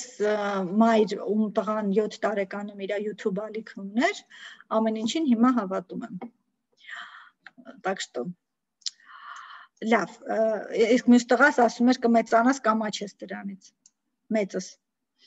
Մամա մի թող ասма կմեծանա կամա չի հետո։ Այսինքն սերունդների տարբերություն մի ընտանիքում։ Մի հատ խնդրում եմ այս պատկերին նայեք, սա էլ է 19 թվականի պատկեր, բայց կարծում որ սա ձեր համար սուրպրիզ է լինելու։ Անու այն հանգամանքը, որ այսօր Հայաստանում Facebook-ը արդեն գերազանցել է 1 միլիոն օկտատերեր, դա միանշանակ է։ Պատերազմի հետևանքով Twitter-ը գրանցել է մեծ աճ, այսօրվա թվերը չունեմ, բայց գիտեմ, որ ավելացել է բավականին մեծ տոկոսով վերջապես հայ հանրությունը հայտնվեց Twitter-ում, չգիտեմ կմնա Twitter-ում թե չէ, բայց հայտնվեց։ Instagram-ը իր տենդենսներն ունի 2017-ից սկսած ամբողջ աշխարհում շատ հարթակներից օկտատերերը գնացին վմվանիա, հա, այսպես ասած, գնացին արտահոսք եղավ դեպի Insta, ընդհանուր առմամբ դեպի վիզուալ ալիքներ, դեպի YouTube, դեպի Instagram ու այսօր Instagram-ի թիվն էլ է ավելի բարձր, բայց ինձ թվում է, որ այստեղ դուք շատ կզարմանաք, որ Adnaklassnik-ում կա այսքան օկտատեր։ Եվ հենց քաղաքական կոմունիկացիայի համար խնդրում հիշեք, որ մարզերում շատ են, թե Adnaklassnik-ի, թե VKontakte։ Արցախում Adnaklassnik-ին ավելի շատ է, քան Facebook-ը։ շատ տարօրինակ ու զավեշտալի պատմություն, բայց դա իրականություն է։ Եթե մենք նայենք թե համացանցային որ կայքին կամ որ աղբյուրին են ավելի շատ հավստահում,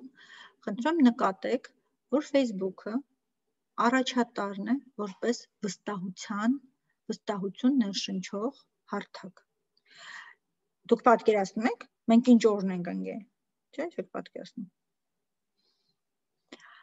Ես կարծում որ դուք էլ ունեք բազմաթիվ ծանոթ բարեկամներ, մամաներ, իմ մոտ օրինակ մաման է, որ հարցում ես որտեղից իմացել, ասում իմ Facebook-ը ասեց։ Թե ինչ կարդաց, մտի իմ Facebook-ը տես։ Այ մամա ջան, քո Facebook-ը չի էլի կակտը։ Տենց երբ որ ես սկսում եմ դաս ցանկացած դաս իմ ուսանողների հետ համասարանում ես իրանց փորձում եմ սովորեցնել մենակ մի բան, ասում դուք ձեզ անդադ տվեք ինչու հարցը։ Եվ եթե այդ լուրը դուք տեսնում եք, ոչ թե հարց տվեք ինչու էս լուրը, այլ հարց տվեք ինչու եմ ես տեսնում այս լուրը, որտեվ այսօր նույն Facebook-ի ալգորիթմը ցես պատահական լուր չի բերում։ Big data-ն եւ արհեստական բանականությունը աշխատում են այնպես, որ եթե դուք ուղակի դրա կողքի նյութով անցել եք կամ ձեր նման ինչ որ մեկը նման մի նյութ բացել է, հավանականությունը, որ դուք այդ նյութը կստանաք, կտրուկ մեծանում է։ Ես դեռ չեմ խոսում բուսթինգների մասին, է, ես խոսում եմ բնականոն ալգորիթմի, օրգանիկների մասին եմ խոսում։ Այդ նույնը Այհա։ Կնկատեցի լավ շարք։ Չէ, չէ, լսում եմ խանութներում, որ դեմքի արտահայտությամբ նույնացնում են հաճախորդներին, թե ինչ գնային սանդղակում, ինչ ապրանք առաջարկեն ու Հայաստանում, Երևանում մանավանդ բավականին շատ փորձում են կիրառել այդ մեխանիզմը։ Դե հիմա դու պատկերացրու, որ դա մարդիկ են, որոնք կարող են եւ սխալվել, բայց artificial intelligence-ը չի սխալվում, ինքը ալգորիթմով է աշխատում։ Ինքը բազմաթիվ օրինաչափությունների վրա դուրս բերած ալգորիթմ է։ Ու ինչպես ասում են Ուկրաինայում Զելենսկու ընտրություններից առաջ, եթե դու ունես սոցիալական հարթակ եւ ունես պրեզիդենտի տեխնացու, դու ունես պրեզիդենտ։ Եվ այսօր հաշվարկը լսարանի վրա ազդեցության արվում է 1 ստատուս 2 լայք բանաձևով։ Այսինքն ընդամենը ձեր մի ստատուս երկու լայքով ձեզ դասակարգում են ինչ-որ մի տիպաժի, որը հենց այդ բնույթի ինֆորմացիան իրան դալիս է հասանելի է դառնում։ Համա ձեզ էլ խորհուրդ, այդ ինչու հարցը ձեզ տվեք անընդհատ պատահական չի, որ ձեզ այդ ինֆորմացիան եկել է, ինչու է եկել այդ ինֆորմացիան, ինչու հենց այդ ինֆորմացիան, ինչ էին ուզում դրանից ասեն։ Ինչու եք դուք էս ընկալում, ինչու է սա գրած, ինչ ինչքան ինչու տակ, այդքան դուք մանիպուլյացիայի հանդեպ լինելու եք բարձր դիմադրողականությամբ, բանա։ Իմունիտետ ա լինել Որպեսզի մենք զերծ մնանք այդ ամբողջ տեսակի խնդիրներից, ասեմ, որ մեդիայի հետ աշխատանքում մենք պետք է սկզբունքորեն հետևենք 3 հիմնական կանոնների։ Մեդիայի հետ աշխատանքում մենք պետք է ապահովենք բազմա ալիքայնությունը, ժորտ տեսակ Facebook-ում 1 միլիոն մարդ կա, բայց 2 միլիոն էլ չկա Facebook-ում։ Հա? Այդ սկզբունքն է։ Եթե մենք մենակ Facebook-ն ենք վերցնում որպես մեր կոմունիկացիա ալիք, մենք կորցնում ենք նրա բոլոր նրանց, ովքեր Facebook-ում չկան, կամ ովքեր Facebook-ում մեր friend լենտայում չեն, կամ բոլոր նրանց, ովքեր Facebook-ին չեն հավատում, կամ բոլոր նրանց, ովքեր Facebook ավելի հազվադեպ են մտնում, եւ այլն եւ այլն։ Բազմալիքայնություն նա մեզ կապահովի այն, որ մենք մեր բոլոր լսարաններին կկարողանանք ունենալ հասանելիություն։ Երկրորդ կարևոր պայմանը դա բազմաժանրությունն է ինֆորմացիայի։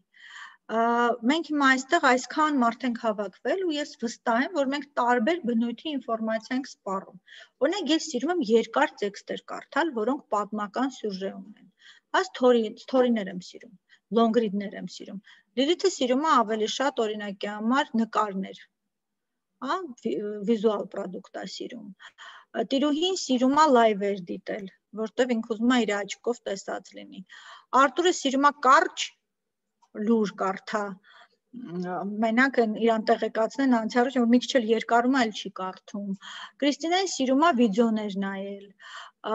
Ռաչուին սիրում է անպայման որ լինի ինֆոգրաֆիկա, թվեր, գրաֆիկներ, իրան դա է պետք, ինքը վստահում է մենակ թվերին եւ տոկոսներին Կրիստինան սիրում է Մանուկյան Կրիստինան սիրում է որ անպայման լինի ձայն ու երաժշտություն, որտեվ ինքը աուդիալ է ու ինքը վիզուալ պատկերները այդքան չի բանում։ Իրան պետքա որ այդ խոսան կամ ինքը լսի։ Այսինքն, եթե մենք չենք ապահովում այդ բազմաթիվ ժանրները, ասենք Վիկտորյանը սիրում է մենակ հարցազրույցներ, իրան էլ ահավոր հարցազրույցներն է հետաքրքրում, բայց դրա հետ մեկտեղ Անուշիկը զզվում է հարցազրույցներից օրինակի համար որpիսի մենք չկորցնենք ոչ մեկին, մենք պետք է փորձենք մեր լուրը, մեր նյուզը տալ տարբեր ժանրերով։ Որpիսի բաց չթողնենք, չկորցնենք ոչ մեկին մեր լսարանից։ Սա երկրորդ ու կարևոր սկզբունքն է եւ երրորդ եւ կարևոր սկզբունքը մենք պետք է անպայման կառավարենք մեր կողմից տրամադրվող ինֆորմացիայի ինտենսիվությունը։ Ժորդ, ինֆորմացիան սնունդի նման բան է։ Երբ որ դու սոված ես, դու անընդհատ ուզում ես ուտել, դու իրան փնտրում ես Այստեղ ես սրճանում, նրան ես հարցնում, բա իմացար, բա տեսար,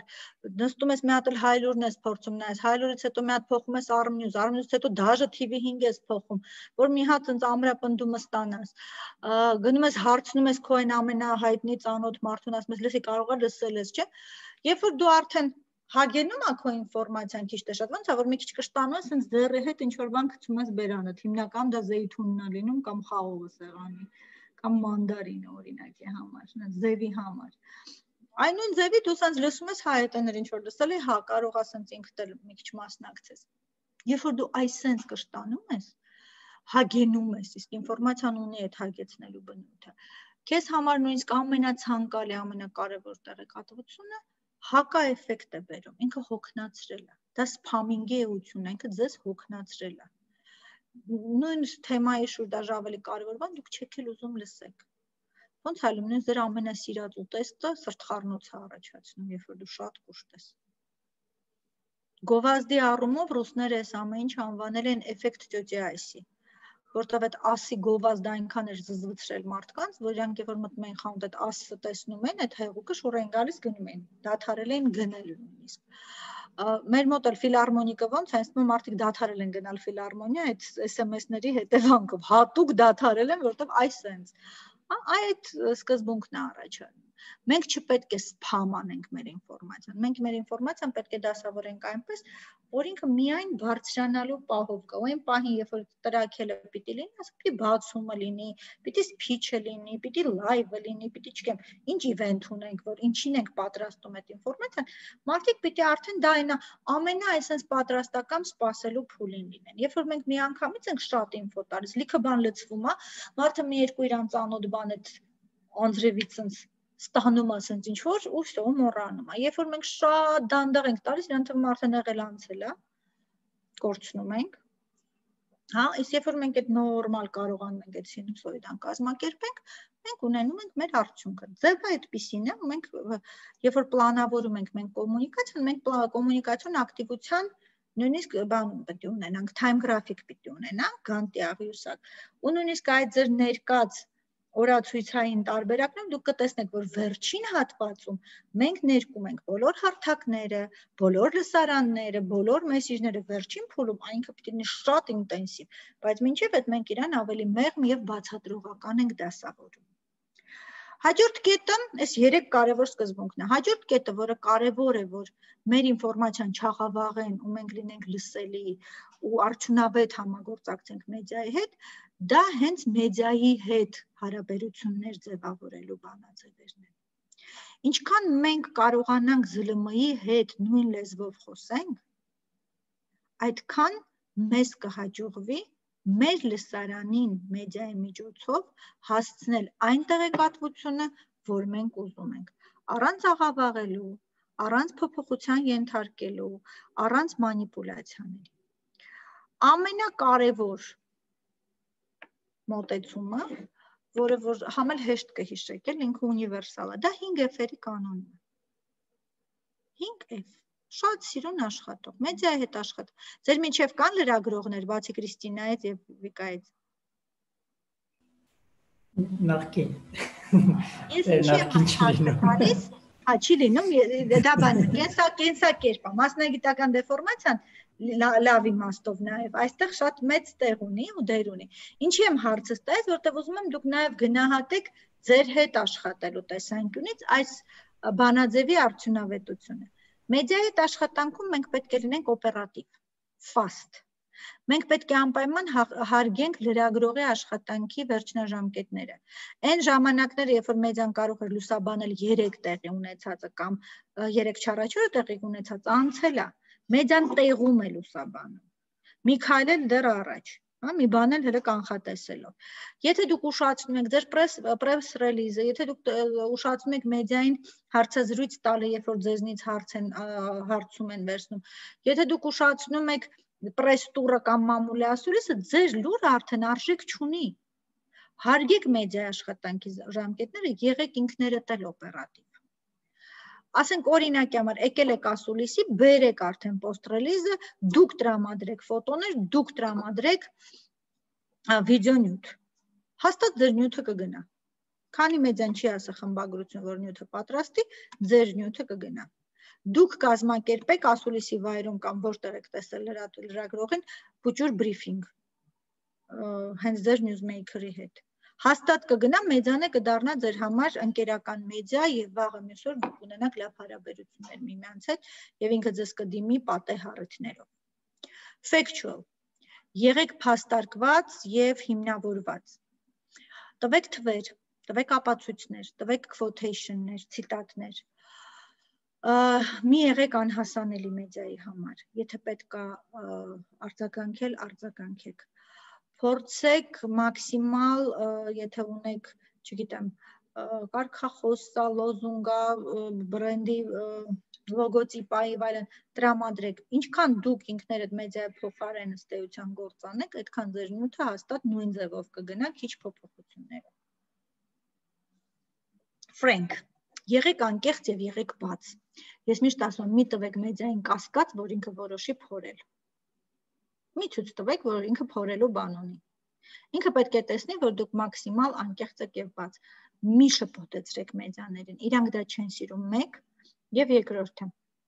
դա ձեզ արդեն որպես քարոշչության կամ հակակորոշչության քարոշչության մասնագետ եմ ասում։ Մենք գիտենք ինչ ենք անում ադրբեջանցիների դեմ պայքում։ Մենք վերջն ենք տեղեկատվական մի հատ շղթա, մի աղբյուրից տրվող։ Եվ այդ ամբողջ շղթայի մեջ գտնում ենք մեկը, որը որ կեղծ ինֆո էր։ Երբ որ դու գտնում ես մի տեղ սուտ, դու կասկածի տակ ես դնում աղբյուրը մի անգամից մի այդ հայկական համազգային կրուտիտը վերացնում ենք լինում ենք բաց լինում ենք անկեղծ fair. Մենք պետք է լինենք արդար լրագրողների հանդեպ ինչ է սա նշանակում ժողովուրդ լյուբիմչիկներ չենք պահում չենք պահում չսիրած մարդկանց։ Եկեք հիշենք մի քանի տարի առաջ ինչ տեղի ունեցավ, երբ որ մամուլի խոսնակների էջում, փակ էջում գնաց քննարկում սև ցուցակներ ունենալու եւ հրաապարակը սև ցուցակում պահելու։ Ասենք կակ տնա մինուտոչկու բոլորը մոռացել են, որ մամուլի խոսնակների մեջ լիքը լրագրող կամ նախկին լրագրող կա ու արտահոսքը եղել էր անմիջապես սկրինշոթերով եւ այլն։ Եվ սա շատ մեծ սկանդալի առիթ տվեց։ Մեդիաները մասնագիտական դեֆորմացիայի շրջանակներում շատ հիշաչար են։ Լրագրողները հիշաչար են եւ մուռ հանող։ Ձեզ պետք է ունենալ լրացուցիչ թշնամի։ Մի արեք էլի։ Մի ասա չի Արտուր, տենց է։ Անպայման կհիշեն, այս ինչ կազմակերպությունը, որ ժամանակին հայտնի էր սրանով։ Այո եւ friendly։ Ասենք ամերիկյան մեդիա հարաբերությունների գրքերում գրած է ընկերություն արեք լրագրողների հետ, շնորհավորեք իրանց ծնունդները եւ դիմեք իրանց անունով։ Եկեք անունով չդիմենք, բայց հիշենք, որ այս լրագրողը այսինչ մեդիանա ներկայացնում, որ ինքը այսինչ արժանինքներ ունի։ Եթե Պուտինը հիշում է ու ճանաչում է, մենք կակտը կարանք, էլի։ Դա շատ հաճելի է ընդհանուր առմամբ կոմունիկացիայի, ցանկացած միջանձնային կոմունիկացիայի դեպքում Ա, ինձ համար շատ տաճ կրնի, որ ասենք մի 3 օր հետո ինձ տնակ ուրիշ անուն ազգանով դիմեք կամ չճանաչեք։ Նույնը լրագրողին, առավել եւս լրագրողին, հա, եկեք այդ հիշենք եւ պահենք այդ սկզբունքը։ Մեդիա հետ աշխատանքն ունի իր առավելություններն ու թերությունները եւ նո առավելությունը երեք բոլորս էլ հասկանում ենք, որ մեդիան մեզ օգնում է կարճ ժամանակում դիմել մեծ լսարանին, բավականին քիչ ռեսուրս ծախսելով։ Այսինքն եթե ես գնայի դռնե դուր փորձելով տեղեկացնել, ասենք 1.5 միլիոն հանրությունը, ես պետք է շատ ռեսուրս ծախսեի, թե ժամանակ, թե գումար, թե տրանսպորտ, թե կոշիկ, թե շոր, թե չգիտեմ, եթե ամեն մեկի տուն էլ մի պաչկա սուրճ տանեի, առավել եւս։ Դրա Աննա ջան, Աննա Սատրյան, խնդրում ենք ձեզ ձայնը անջատել, շնորհակալություն։ Իսկ դրա փոխարեն մենք ընդհանրապես կարող ենք մի հատ post գրել կամ մի հատ live դուրս գալ կամ մի հատ influencer-ի խնդրել անդրադառնալ մեր թեմային։ Մեդիան կարող է ավելացնել խնդրի ճշմարտացիությունը եւ ընդհանուր համաձայնության հասնելու հնարավորությունները հենց հանրային քննարկումներ ծավալելու միջոցով։ Այդ բոլոլաները ըստ էության իրենք պիտի դառնային հանրային քննարկումներ եւ բերել համաձայնության։ Մինչդեռ դրանք շեղվում են նպատակից եւ մեր երկրում կամ աշխարհում բոլոլան լինում է հանուն բոլոլայի ոչ մի ուրիշ նպատակ չհետապնդելով զուտ սկսում են տարածել զգուշ սկսում են այդ թոքինգը ծավալել հենց զուտ թոքինգ ծավալելու համար մեդիան կարող է մեծացնել խնդրի կարևորությունը ժողովուրդ շատ բաներից մենք նույնիսկ տեղյակ չենք լինի կամ այդքան լուրջ չենք վերաբերվի եթե մեդիան դրան չանդրադառնար բայց այստեղ նաև ճիշտ ճշմարիտ է հակառակը այն ինչին մեդիան չի անդրադառնում միանգամից աչքաթող արվում եւ մոռացվում ասենք շատերը տակ հիմա հիշում ինչա կատարվում սոտքում կամ ինչ եղավ ամուլսարի խնդիրը մի քիչ մեդիան թուլը կամ կամ չգիտեմ թրջկանի շուրջը ինչ եղավ մի քիչ մեդիան թուլացնում այրա ուշադրությունը մենք արդեն մոռանում ենք այդ խնդրի գոյության մասին կամ ինչպես է արցախցիներից արցախցիներին հասնում նախատեսված աջակցությունը հետևում ենք չէ մեդիա աչքից վրիպել է մենք էլ մոռացել ենք Բայց մեդիայի այդ աշխատանքներն ունեն նաև լուրջ լրջագույն թերություններ եւ հիմնական մթերությունների թերությունները կապված են ձևաչափից։ Հերոստատեսությունը քիչ ժամանակ է հատկացնում, դե գնա այդ պուճուր միս միս փոթի կամ երկու փոթի 30 վայրկյան կամ 60 վայրկյանի շրջանակներում անդրադարձի քո ամբողջ թեմային, ցույց տուր բոլոր սփիքերներիդ, Twitter-ում ասենք 200 նիշում դու պիտի ամբողջ քո տեսակետը տեղավորես, Facebook-ում պիտի աշխատես մինչև Seymour գրել ու հիշում եք, չէ, որ նկարով գրառումը ավելի հաճախ է դիտվում, քան զուտ մենակ գրառումը կամ մենակ նկարը։ Insta-ի համար դու պետք է ունենաս սիրուն նկարներ, TikTok-ի համար դու պիտի ունենաս աննորմալ հոլովակներ եւ այլն եւ այլն։ Ա մեդիան կարող է աղավաղել խնդիրը եւ այստեղ գալիս են այդ ինֆոլոգիաները Արտուր ջան։ Այսինքն օրինակի համար վարչապետը ասում է, ինչ հայրանք մտածել էին, որ Շուշին դժգույն ու տխուր քաղաք է, բայց բոլորը ասում են, որ վարչապետը ասաց, որ Շուշին դժգույն ու տխուր քաղաք է, մեզ պետք չէ Շուշին։ Իրականում ասել է այդ նախադասությունը, բայց կոնտեքստը եղել է մի քիչ ուրիշ, բայց ով է հիշում հիմա կոնտեքստը, հա։ Մեդիան կարող է աղավաղել խնդիրը օրինակի համար կոչը հավաքվել ռուսական ռազմաբազայի մոտ, որպեսզի հասկանալ ինչ եղավ խցաբերդը կամ աջակցություն խնդրել ռուս խաղաղապահներից, դա ներկայացվի որպես հակառուսական ակցիա կազմակերպված, չգիտեմ, սորոսականների կողմից։ Եվ այլն եւ այլն։ Այսինքն մեդիան իսկապես կարող է փոխել այն կոնտեքստը կամ բուն հենց տեքստը, որը որ ներկայացվում է infotainment ֆենոմեն գոյություն ունի։ Սա entertainment-ի եւ information-ի շատ հետաքրքիր հիբրիդն է որը որ պահանջում է ԶԼՄ-ներից, որ նյութդ լինի սենսացիոն, նյութդ լինի դիտվող, նյութդ լինի clickable, նյութդ լինի ուշադրություն գրավող, որ շատ մարդիկ դրան դա տեսնեն, որտեղ երբ որ դուք մեդիա շատ հաճախ եք տեսնում, հետո մեդիայի մոտ հնարավորություն կա ռեյտինգը բարձրացնել եւ գովազդը ավելի թանկ վաճառել, իսկ դա շատ դեպքերում մեդիայի համար հիմնական եկամտի աղբյուրն է լինում։ Այս առումով ես կուզենամ մի հատ այդ հարցման արդյունքը ցույց տամ, թե մարդիկ ինչ մեծ ուշադրություն են դարձնում գլխագրերին, նայեք հարցվածների 56.3%-ը բացում է նյութը, որովհետև իրան վերնագիրն է հետաքրքրել։ Իսկ 12.9%-ը, որովհետև նկարն է հետաքրքրել, այսինքն այդ գերելու, այդ ներգրավելու այդ բանի process-ը շատ կարևոր է դառնում մեդիայում։ Մենք ես միշտ մեկ-մեկ ասում ասում Շամշյանը որ գնում է վթարը նկարելու, մի բան էլ ինքնաշուռ տալի կամ ինչ որ բան վառում է կամ կարմիր ներկա լցնում, որ արուն շատ երևա, որ նկարի, որ ավելի զրելիշն է լինի, հա։ Իրականում հա ու եթե հիմա էլ նայեք ամենամեծ դիտողականություն ունեն պատերազմականային նյութերը, որտեղ ամենադաժան վերնագրերն են կամ դաժան նկարներն են։ Ամ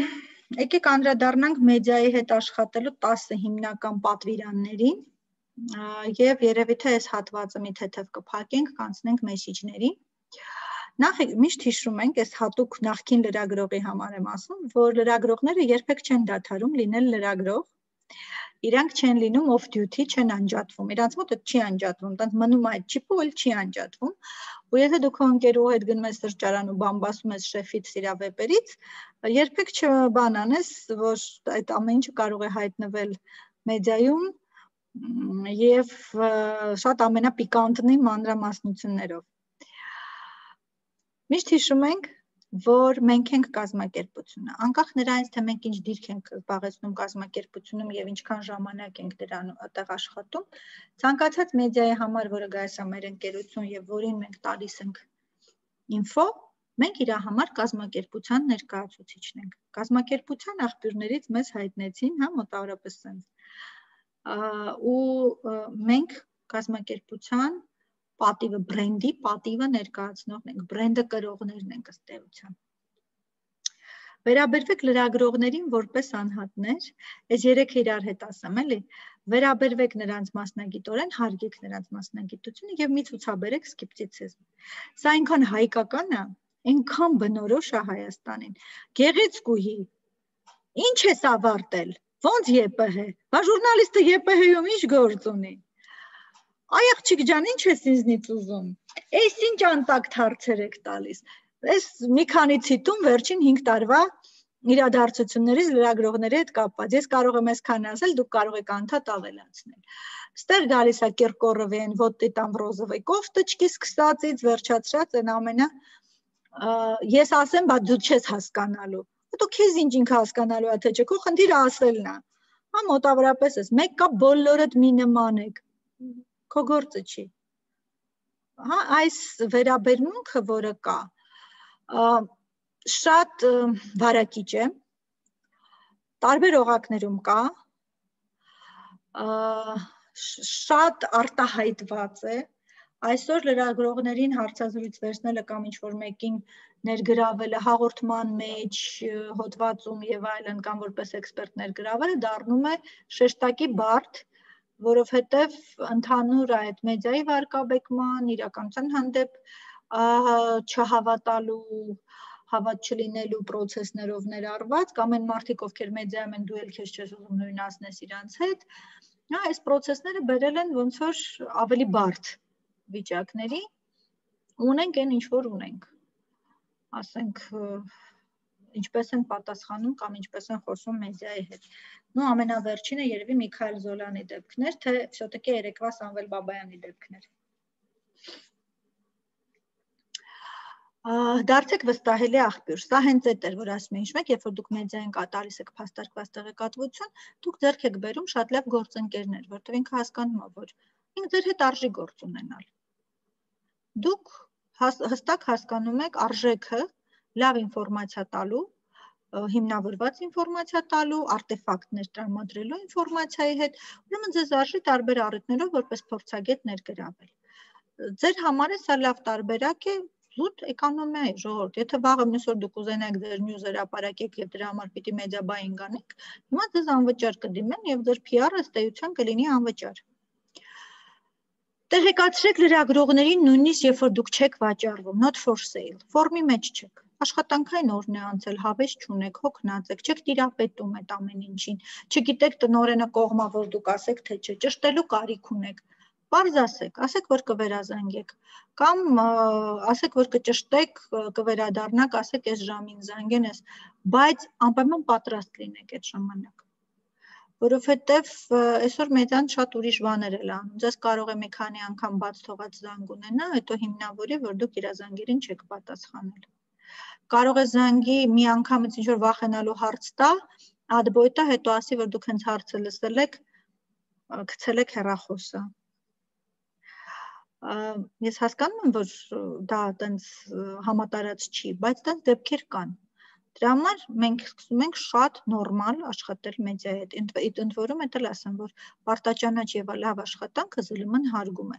Նայեք ամեն հեռացող լավ աշխատած մամուլի քարտուղարի հետևից ինչ լավ բաներ են գրում լրագրողները,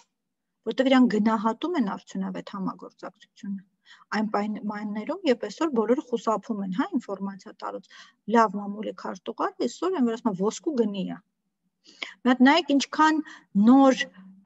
պաշտոնյաներ եկան, բայց թողեցին հին խոսնակներին։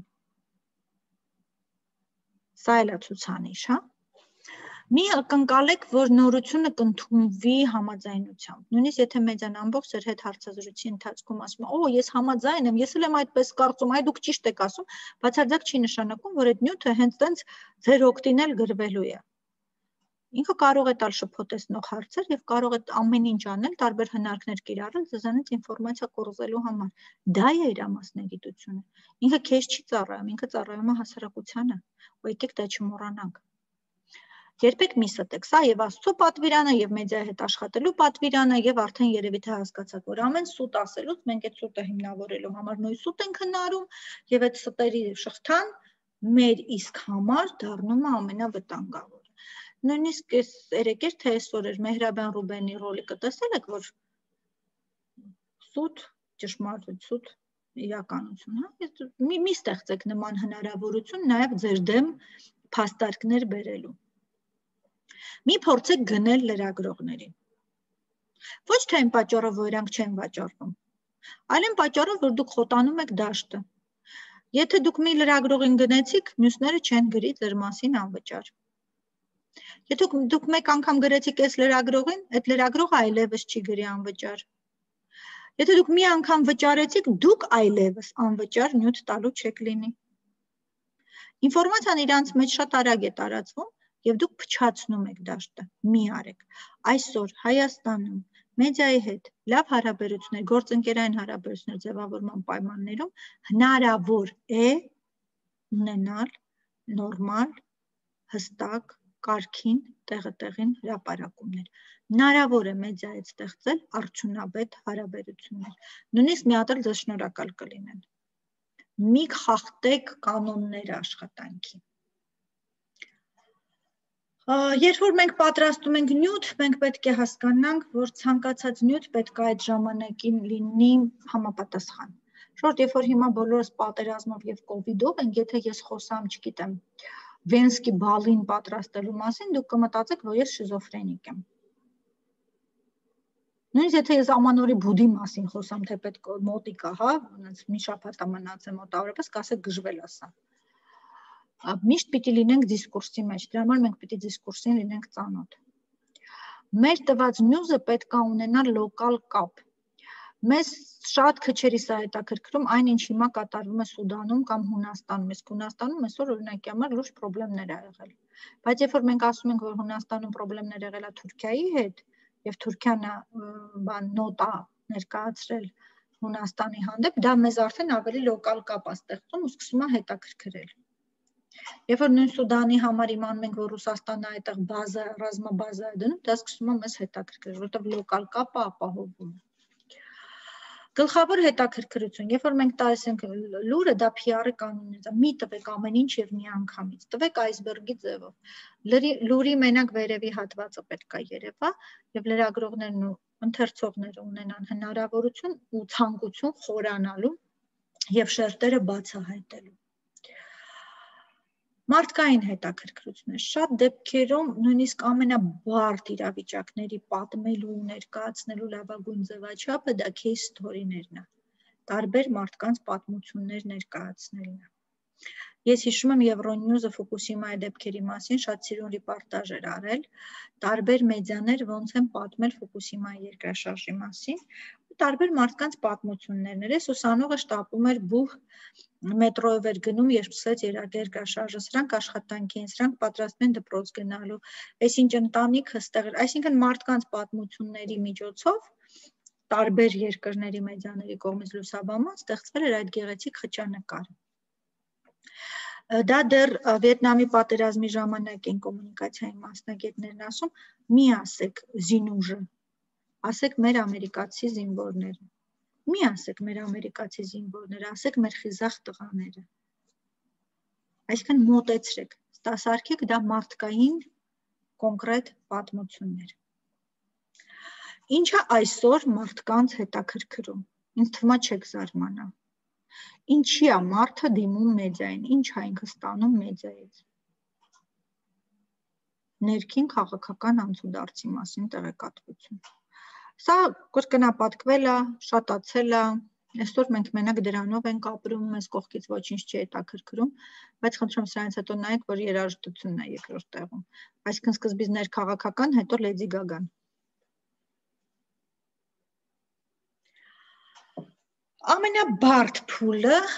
գիտենք, չէ, ով է խոսում, ում հետ է խոսում, ինչ ալիքով։ Ամենաբարդ փուլը հասկանալ ինչ ենք ասում։ Կասեք դե լավ, ի՞նչն է այստեղ բարդ էլի, մարդ խոսալ գիտի, պիտի կարողանա ասի, չէ, ժողովուրդ ջան, որովհետև մեսիջը կամ ուղերձը դա այն չի, ինչ մենք ասում ենք։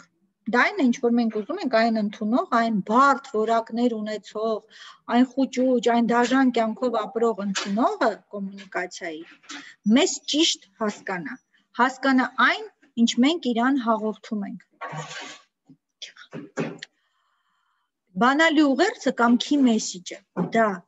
այն եզրահանգումն է, որին պետք է գա մեր թիրախային լսարանը մեր տեղեկատվական աստիճան արդյունքում։ Պիտի ասեք, բա այդ ո՞նց է, մենք ինչ իմանանք ինքը ինչ կընկալի։ Ես ձեզ ինչ պիտի պատասխանեմ, ասեմ ժողովուրդ, բանաձև կա էլի։ Եվ բանաձևը հնչում է այսպես. բնութագրիչներ, առավելություններ, շահ Եթե մեր մեսեջի մեջ մարդը հասկանում է, որն է ձեր առավելությունը, ինչով եք դուք տարբերվում, եւ հասկանում է իրան ինչ դրանից, ինքը դրանից ինչ է շահում, ապա ձեր մեսեջը տեղի է ունեցել։ Ձևակերպվում է այսպես ամերիկացիները ասում են WII radio կամ WII-FM հապավումա, որը հնչում է որպես what's in it for me։ Հայերեն թարգմանումը քյարս ինչա։ կարողանում եք հաղորդել իր քյարը ինչա մեր մեսեջի մեջ։ Ոնց ենք դա անում։ Շուտ տեխնիկա է։ Ասենք օրինակի համար մենք ասում ենք, որ Արտուր Թովմասյանը ճիշտ եմ հիշում անունը, թե Արտակ էր։ Այդ Դվինի տիրոջ։ Նոր կուսակցություն է բացում։ Նույնիսկ տեսեք անունը չեմ հիշում։ Ասում ենք նոր կուսակցություն է բացում Դվին հյուրանոցի տերը, մեծահարուստ Բրիտանիայից, Ռուսաստանից մեծահարուստ Դվինի տերն է, հայատերն է բացում է ստեղ նոր կուսակցություն։ Ինչ հարցեր է առաջանում։ Այս տեսնում եք այս frequently asked questions, FAQ-ները։ Ինչ հարցեր է առաջանում, երբ այս լուրը հիշում եք։ Ով է այդ մարդը, նույնիսկ կանոնազգանը, չէ՞ քանի տարեկան է, վերջը որտեղից է, փողը ինչու ինչից է, ինչով է զբաղվում, ինչու է որոշել կուսակցություն, ինչպիսի կուսակցությունն է, ինչ գաղափարախոսություն է, ով են կուսակցության անդամները, ով է ֆինանսավորում կուսակցությունը,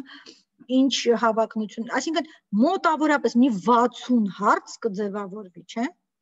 Մի քիչ եթե պաստառայեմ, սա ավել։ Հաստատ կլինի, չէ՞։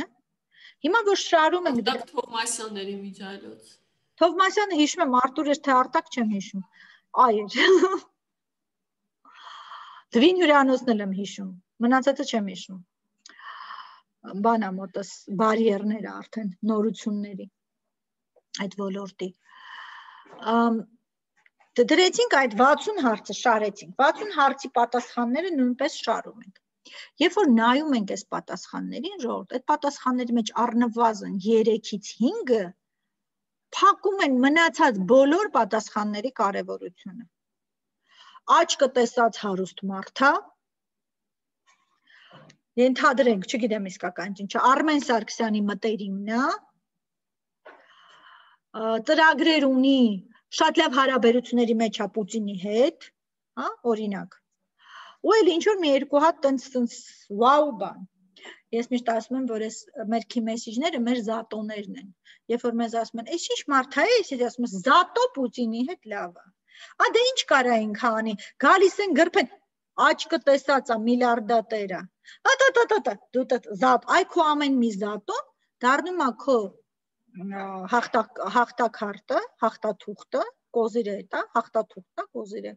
Կարդ խաղալուց, որով դու չախ որով դու չախում ես, հա։ Քեզ ասում են, «Էս ինչ էս ինչ» դու ասում ես այս էլ քեզ ասենց այ դրանք են քո մեսիջները այնքան դու զատոներ կարողանաս ձևակի պես այդքան դու ունես մեսիջներ մեսիջները շատ չպիտի լինեն բայց ինձնից ձեզ խորհուրդ մեկով մի սահմանափակվեք որ կարողանաք բազմակողմանի ներկայացնել ձեր քաղաքական առաջարկի առանձնահատկությունները Key message-ի մեջ մենք պետք է տեղավորենք նույնպես մեր 5W-ները, ով, երբ, ինչ է ասում, ում, ինչքանով, ինչքան ռեսուրս է դրա համար պահանջում, որովհետև եթե նայեք, եթե ձեր կոմունիկացիան ավելի կոմերցիոն է, դա գալիս է նաև այդ how much-ը, հա, ինչ արժի, ինչքան ինչ կնստի ին վրա այս ամեն ինչը։ Մեր մեսիջները մենք սովորաբար տեղավորում ենք տարբեր բնույթի կոնտենտների մեջ մի հատ նայեք ինչ քանակությամբ կոնտենտի տեսակներ գոյություն ունեն։ Մեր կոնտենտը այսօր, կոնտենտը բովանդակությունն է։ Դա մենակ SMM-ին չի վերաբերում, մեր մոտ հիմա բոլոր հասկացությունները խեղաթյուրվել են մեզ թվում է եթե մենք ինչ-որ բան ասում ենք SMS, այս մենակ SMM-ին է վերաբերում։ Կոնտենտը դա ընդհանուր բովանդակությունն է։ Մենք բովանդակություն ենք արտադրում։ Մեր մեսեջը դառնում է մեր կոմունիկացիայի բովանդակության թիրախային, կետային, բանալի մասը։ Մեր կոմունիկացիայի բովանդակությունը կարող է լինել տեքստային եւ կարող է լինել վիզուալ։ Շատ բան ես կարող եմ պատմել, բայց ինչ որ բան ես կարող եմ ցույց տալ եւ անցնել առաջ, ճիշտ է։ Հիմա կոնտենտի բազմազանություն այսօր պակաս չունենք, այս սկսած այս ան բոլոր տեսանկներից, հա, ու ինչն է ավելի կարևորը մարդկանց համար, Люди, тише. Мои вернулись домой։ Մենք կարող ենք տարաբնույթ կոնտենտ առաջարկել։ Կոնտենտի ստեղծման ձևաչափերն էլ են տարբեր եւ շատ շատ հաճախ կոնտենտի ձևավորմամբ կարող են նույնիսկ տարբեր մասնագետներ զբաղվել։ Ես օրինակ շատ սիրում եմ storytelling-ը։ Ես շատ սիրում եմ, երբ որ իմ կոմունիկացիայի մեջ, որի մեջ ես մտնում եմ ու որ ինձ հրամցնում են, կա պատմություն, կա լեգենդ, կա հիմք, կա background, կա նախապատմություն, հա։ Մարդիկ կան սիրում են speech-եր։ Սա արդեն գալիս է մասնագետ, որը ելույթներ է գրում, speech writing-ը անում Այսօր վաճառող տեքստերի ժամանակն է, երբ որ դու համոզում ես ու մարդկանց քո հետևից ես տանում։ Դու կարող ես բուն ապրանք վաճառելուց սկսած, վերջացած քո հետևից տանելու, քեզ միանալու, հա, մեկ այլի վաճառող տեքստ է, դա copywriting-ն է։ Եվ copywriter-ներն են սրանով զբաղվում։ Ինչի եմ ես սա ընդգծել այստեղ։ Ես սա կարող եի ընդհանրապես բաց թողնել, որովհետև ժողովուրդ սրանք լրիվ տարբեր ժանրեր են մեր խնդիրը ու մեր զավեշտը շատ հաճախ նրանում է, որ այս ժանրերն էլ են խառնվում իրար։ Եվ այն մարդիկ, որոնք ըստ հենց ելույթի մասնագետն են, որտեղ է լինի եւ աշխարհակաղակականության իմացություն, եւ քաղաքագիտական գիտելիք, եւ սոցիոլոգիական գիտելիք, եւ բուն ժորտ ելույթը ինքը լրիվ ուրիշ տեխնիկա ունի կազմելու բայց ելույթը գրում է storyteller-ը կամ ավելի վատ copywriter-ը եւ կամ նույն մարդը անում է բոլոր տեսակի կոնտենտի ստեղծում։ Նույնիսկ այս ժանրային տարբերությունները հաշվի չառնելով։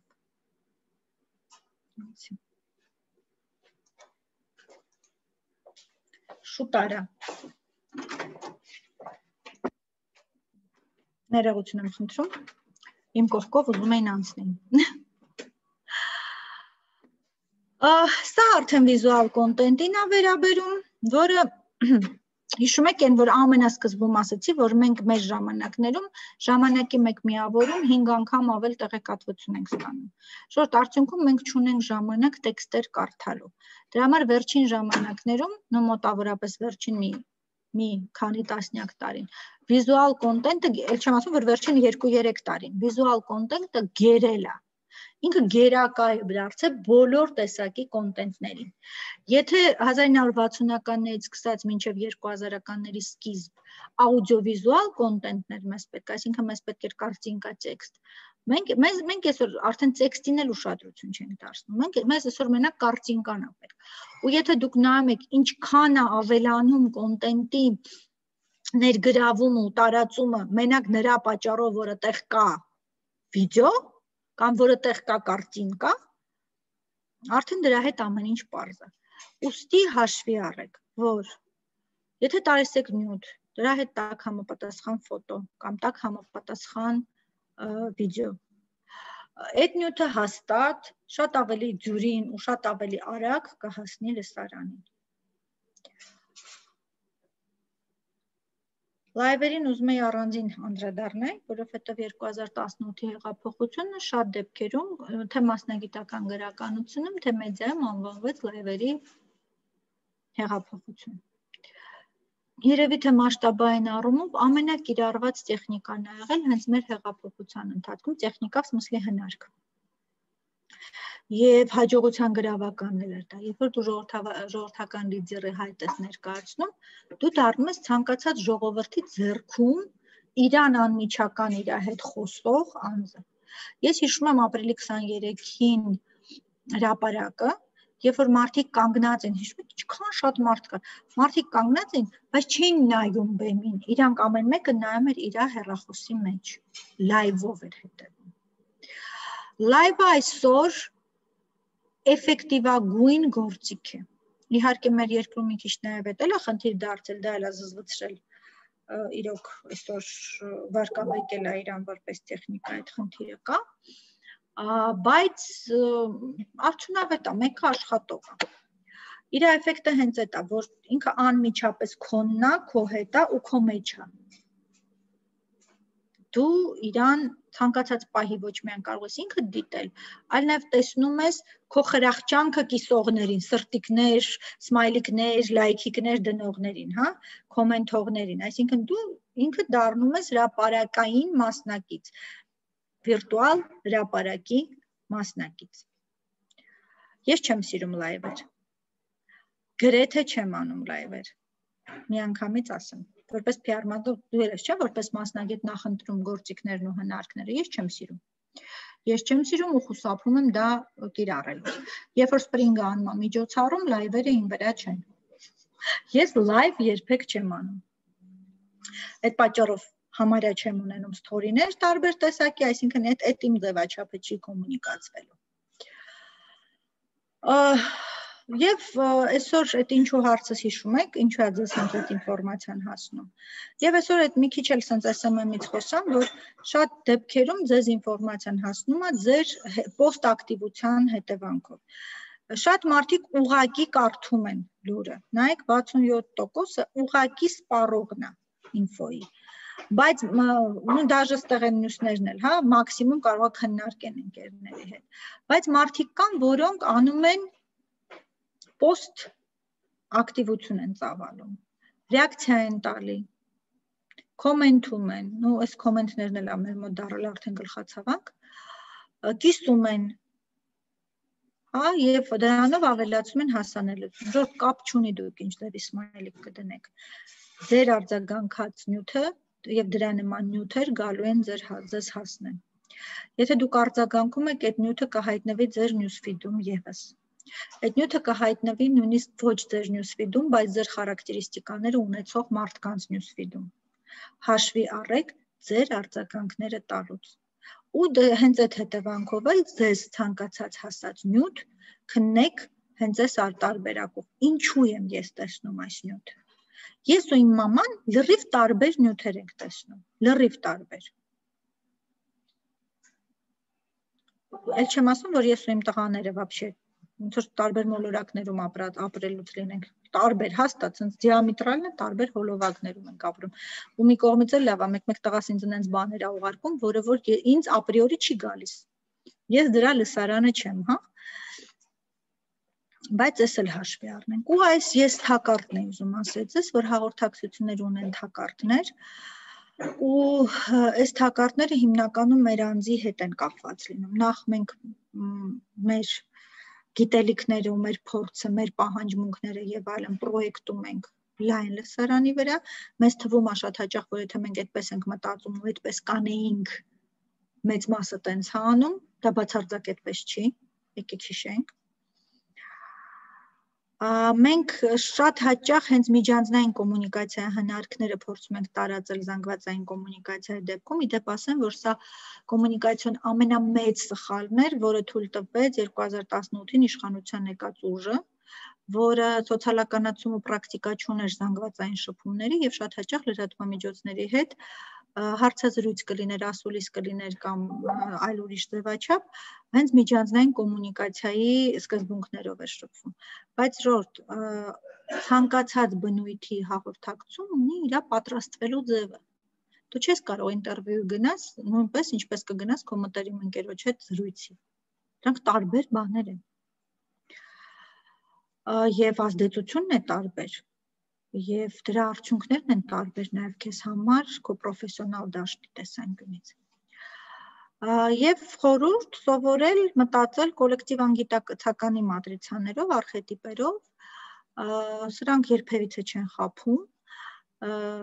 արխետիպերը ունիվերսալ են, Յունգի տեսության շրջանակներում հիմնական գործող արխետիպերը, որ այսօր մեր տունը քանդում են ակտիվ, դա մենք նրանք արխետիպն է,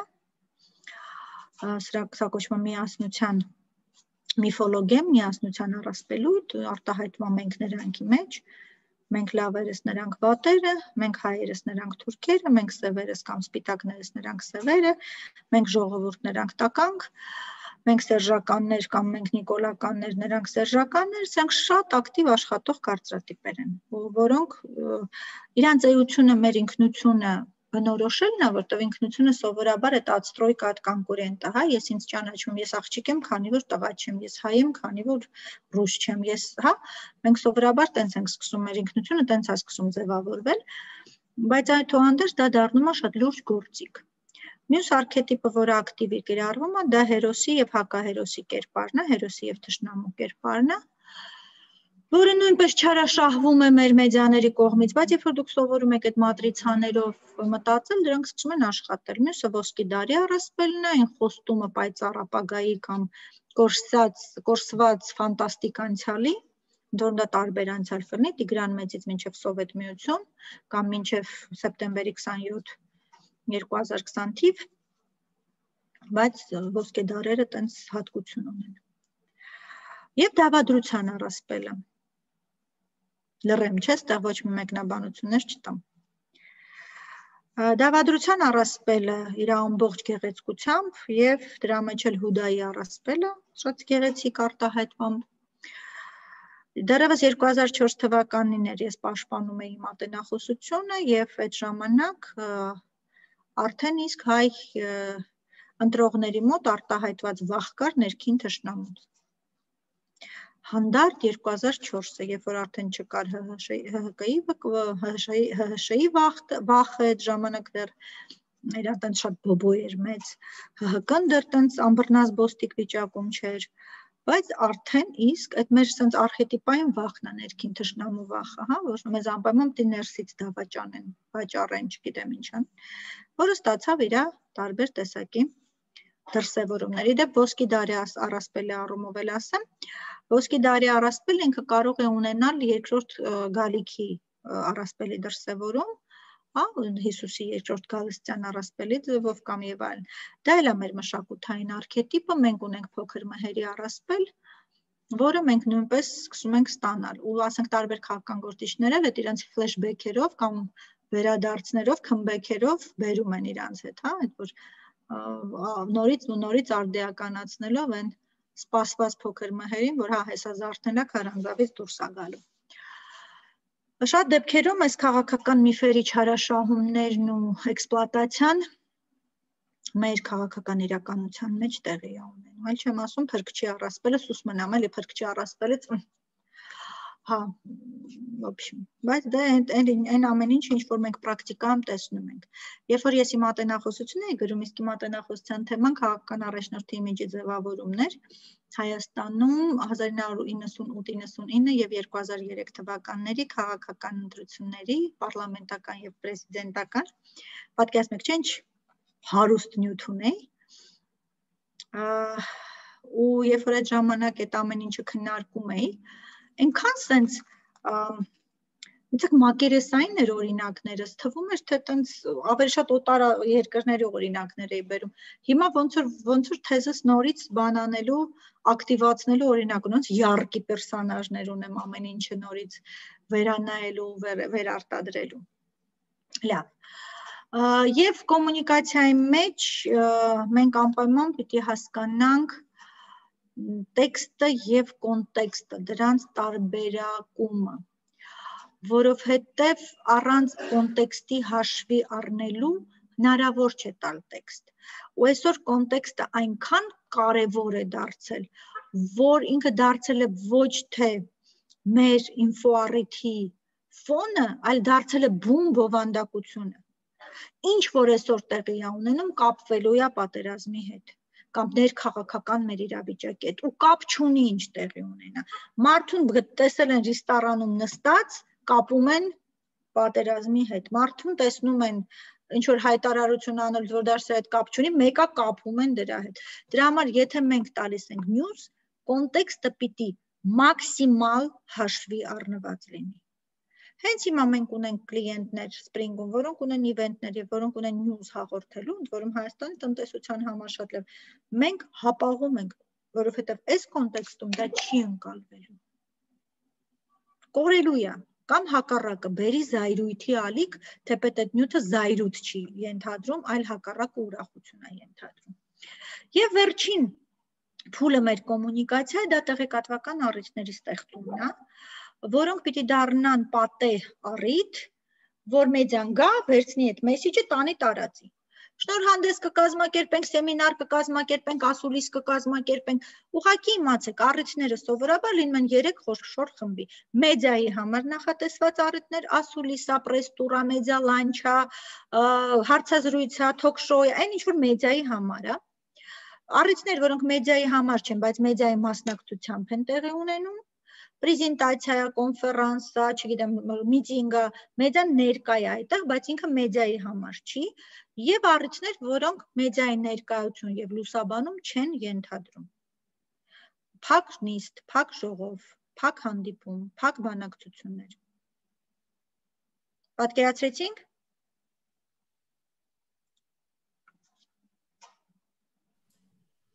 Ընկեր Մելքոնյան։ Ջան։ Ես մի հատ մեծ մտահոգություն ունեմ, ոնց եմ ասելու, սիրելի մասնակիցներ, սպասում ենք ձեր հարցերին, որովհետև դուք արդեն 2 ժամից ավել խոսում եք ու հաջող Իրա ու եթե հիմա հարց տան, կշարունակեք նույն տեմպով ներկայացնել, այնպես որ սիրելի մասնակիցներ, ինձ թվում է մենք արդեն մեր բանախոսին պետք է հանգիստ թողնենք Ես չափազանց շնորհակալ եմ ձեզ այսքան բազմաբովանդակ ներկայացման համար։ Իրականում այն ինչ դուք ասում եք մեդիագրագիտության հիմքն է կազմում եւ շատ արդի է, հրատապ է, կարեւոր է, պետք է լինի մեր կրթության եւ սոցիալիզացիայի հիմքում ընկած։ Ես խորապես համոզված եմ մեր մասնակիցները առաջիկայում իրենց հետազոտությունների առանցքում կօգտագործեն այն գործիքակազմը, որ դուք տվեցիք եւ մենք խրախուսում ենք վստահ եմ դուք միայն կողմեք դրան ձեզ ճանաչելով որ պահպանեն կապ ձեզ հետ հնարավորության դեպքում Այո, այդ թողնում եմ դուք կարող եք ասել ինչպես եք նախընտրում ձևաչափը եւ ոնց եք պատկերացնում երկխոսությունը մեր մասնակիցների հետ։ Նախ քանի որ հարթակը կա ձեր ու ես հարթակի մասնակիցն եմ, կարող ենք այդ հարթակի միջոցով շփվել։ Ես բավականին ակտիվ եմ Facebook-ում ու Messenger-ում, կարող եք ինձ այդտեղ դիմել։ Ուղղակի, եթե չեմ սխալվում, ընկերներս քանը կավել է ու ընդունել չեմ կարողam, ու շատ դեպքերում նույնիսկ չեմ տեսնում հայտերը, չի բերում, կորցնում է այդտեղ էլ ինչ որ ապուշություն աշխատում, չգիտեմ։ Դրա համար երևի թե հարթակ օգտագործենք, հետո կապ հաստատենք, դա լավ ձևաչափ է։ Ես կդնեմ եւ այս պրեզենտացիան կուղարկեմ Վիկտորիային եւ կդնեմ լրացուցիչ նյութեր, որոնք ձեզ կարող է պետպիտանի լինեն, կդնեմ PR արշավի պլանավորումից նյութ, կարճ հայերեն, որ ձեզ լինի հեշտ եւ ջուրին, եւ կարող եմ դնել հենց մեդիա հարաբերությունների ձևավորման վերաբերյալ նյութ։ Կարող եմ դնել մանիպուլյացիաների վերաբերյալ հոդված, բավականին հենց համապարփակ նյութ ունեմ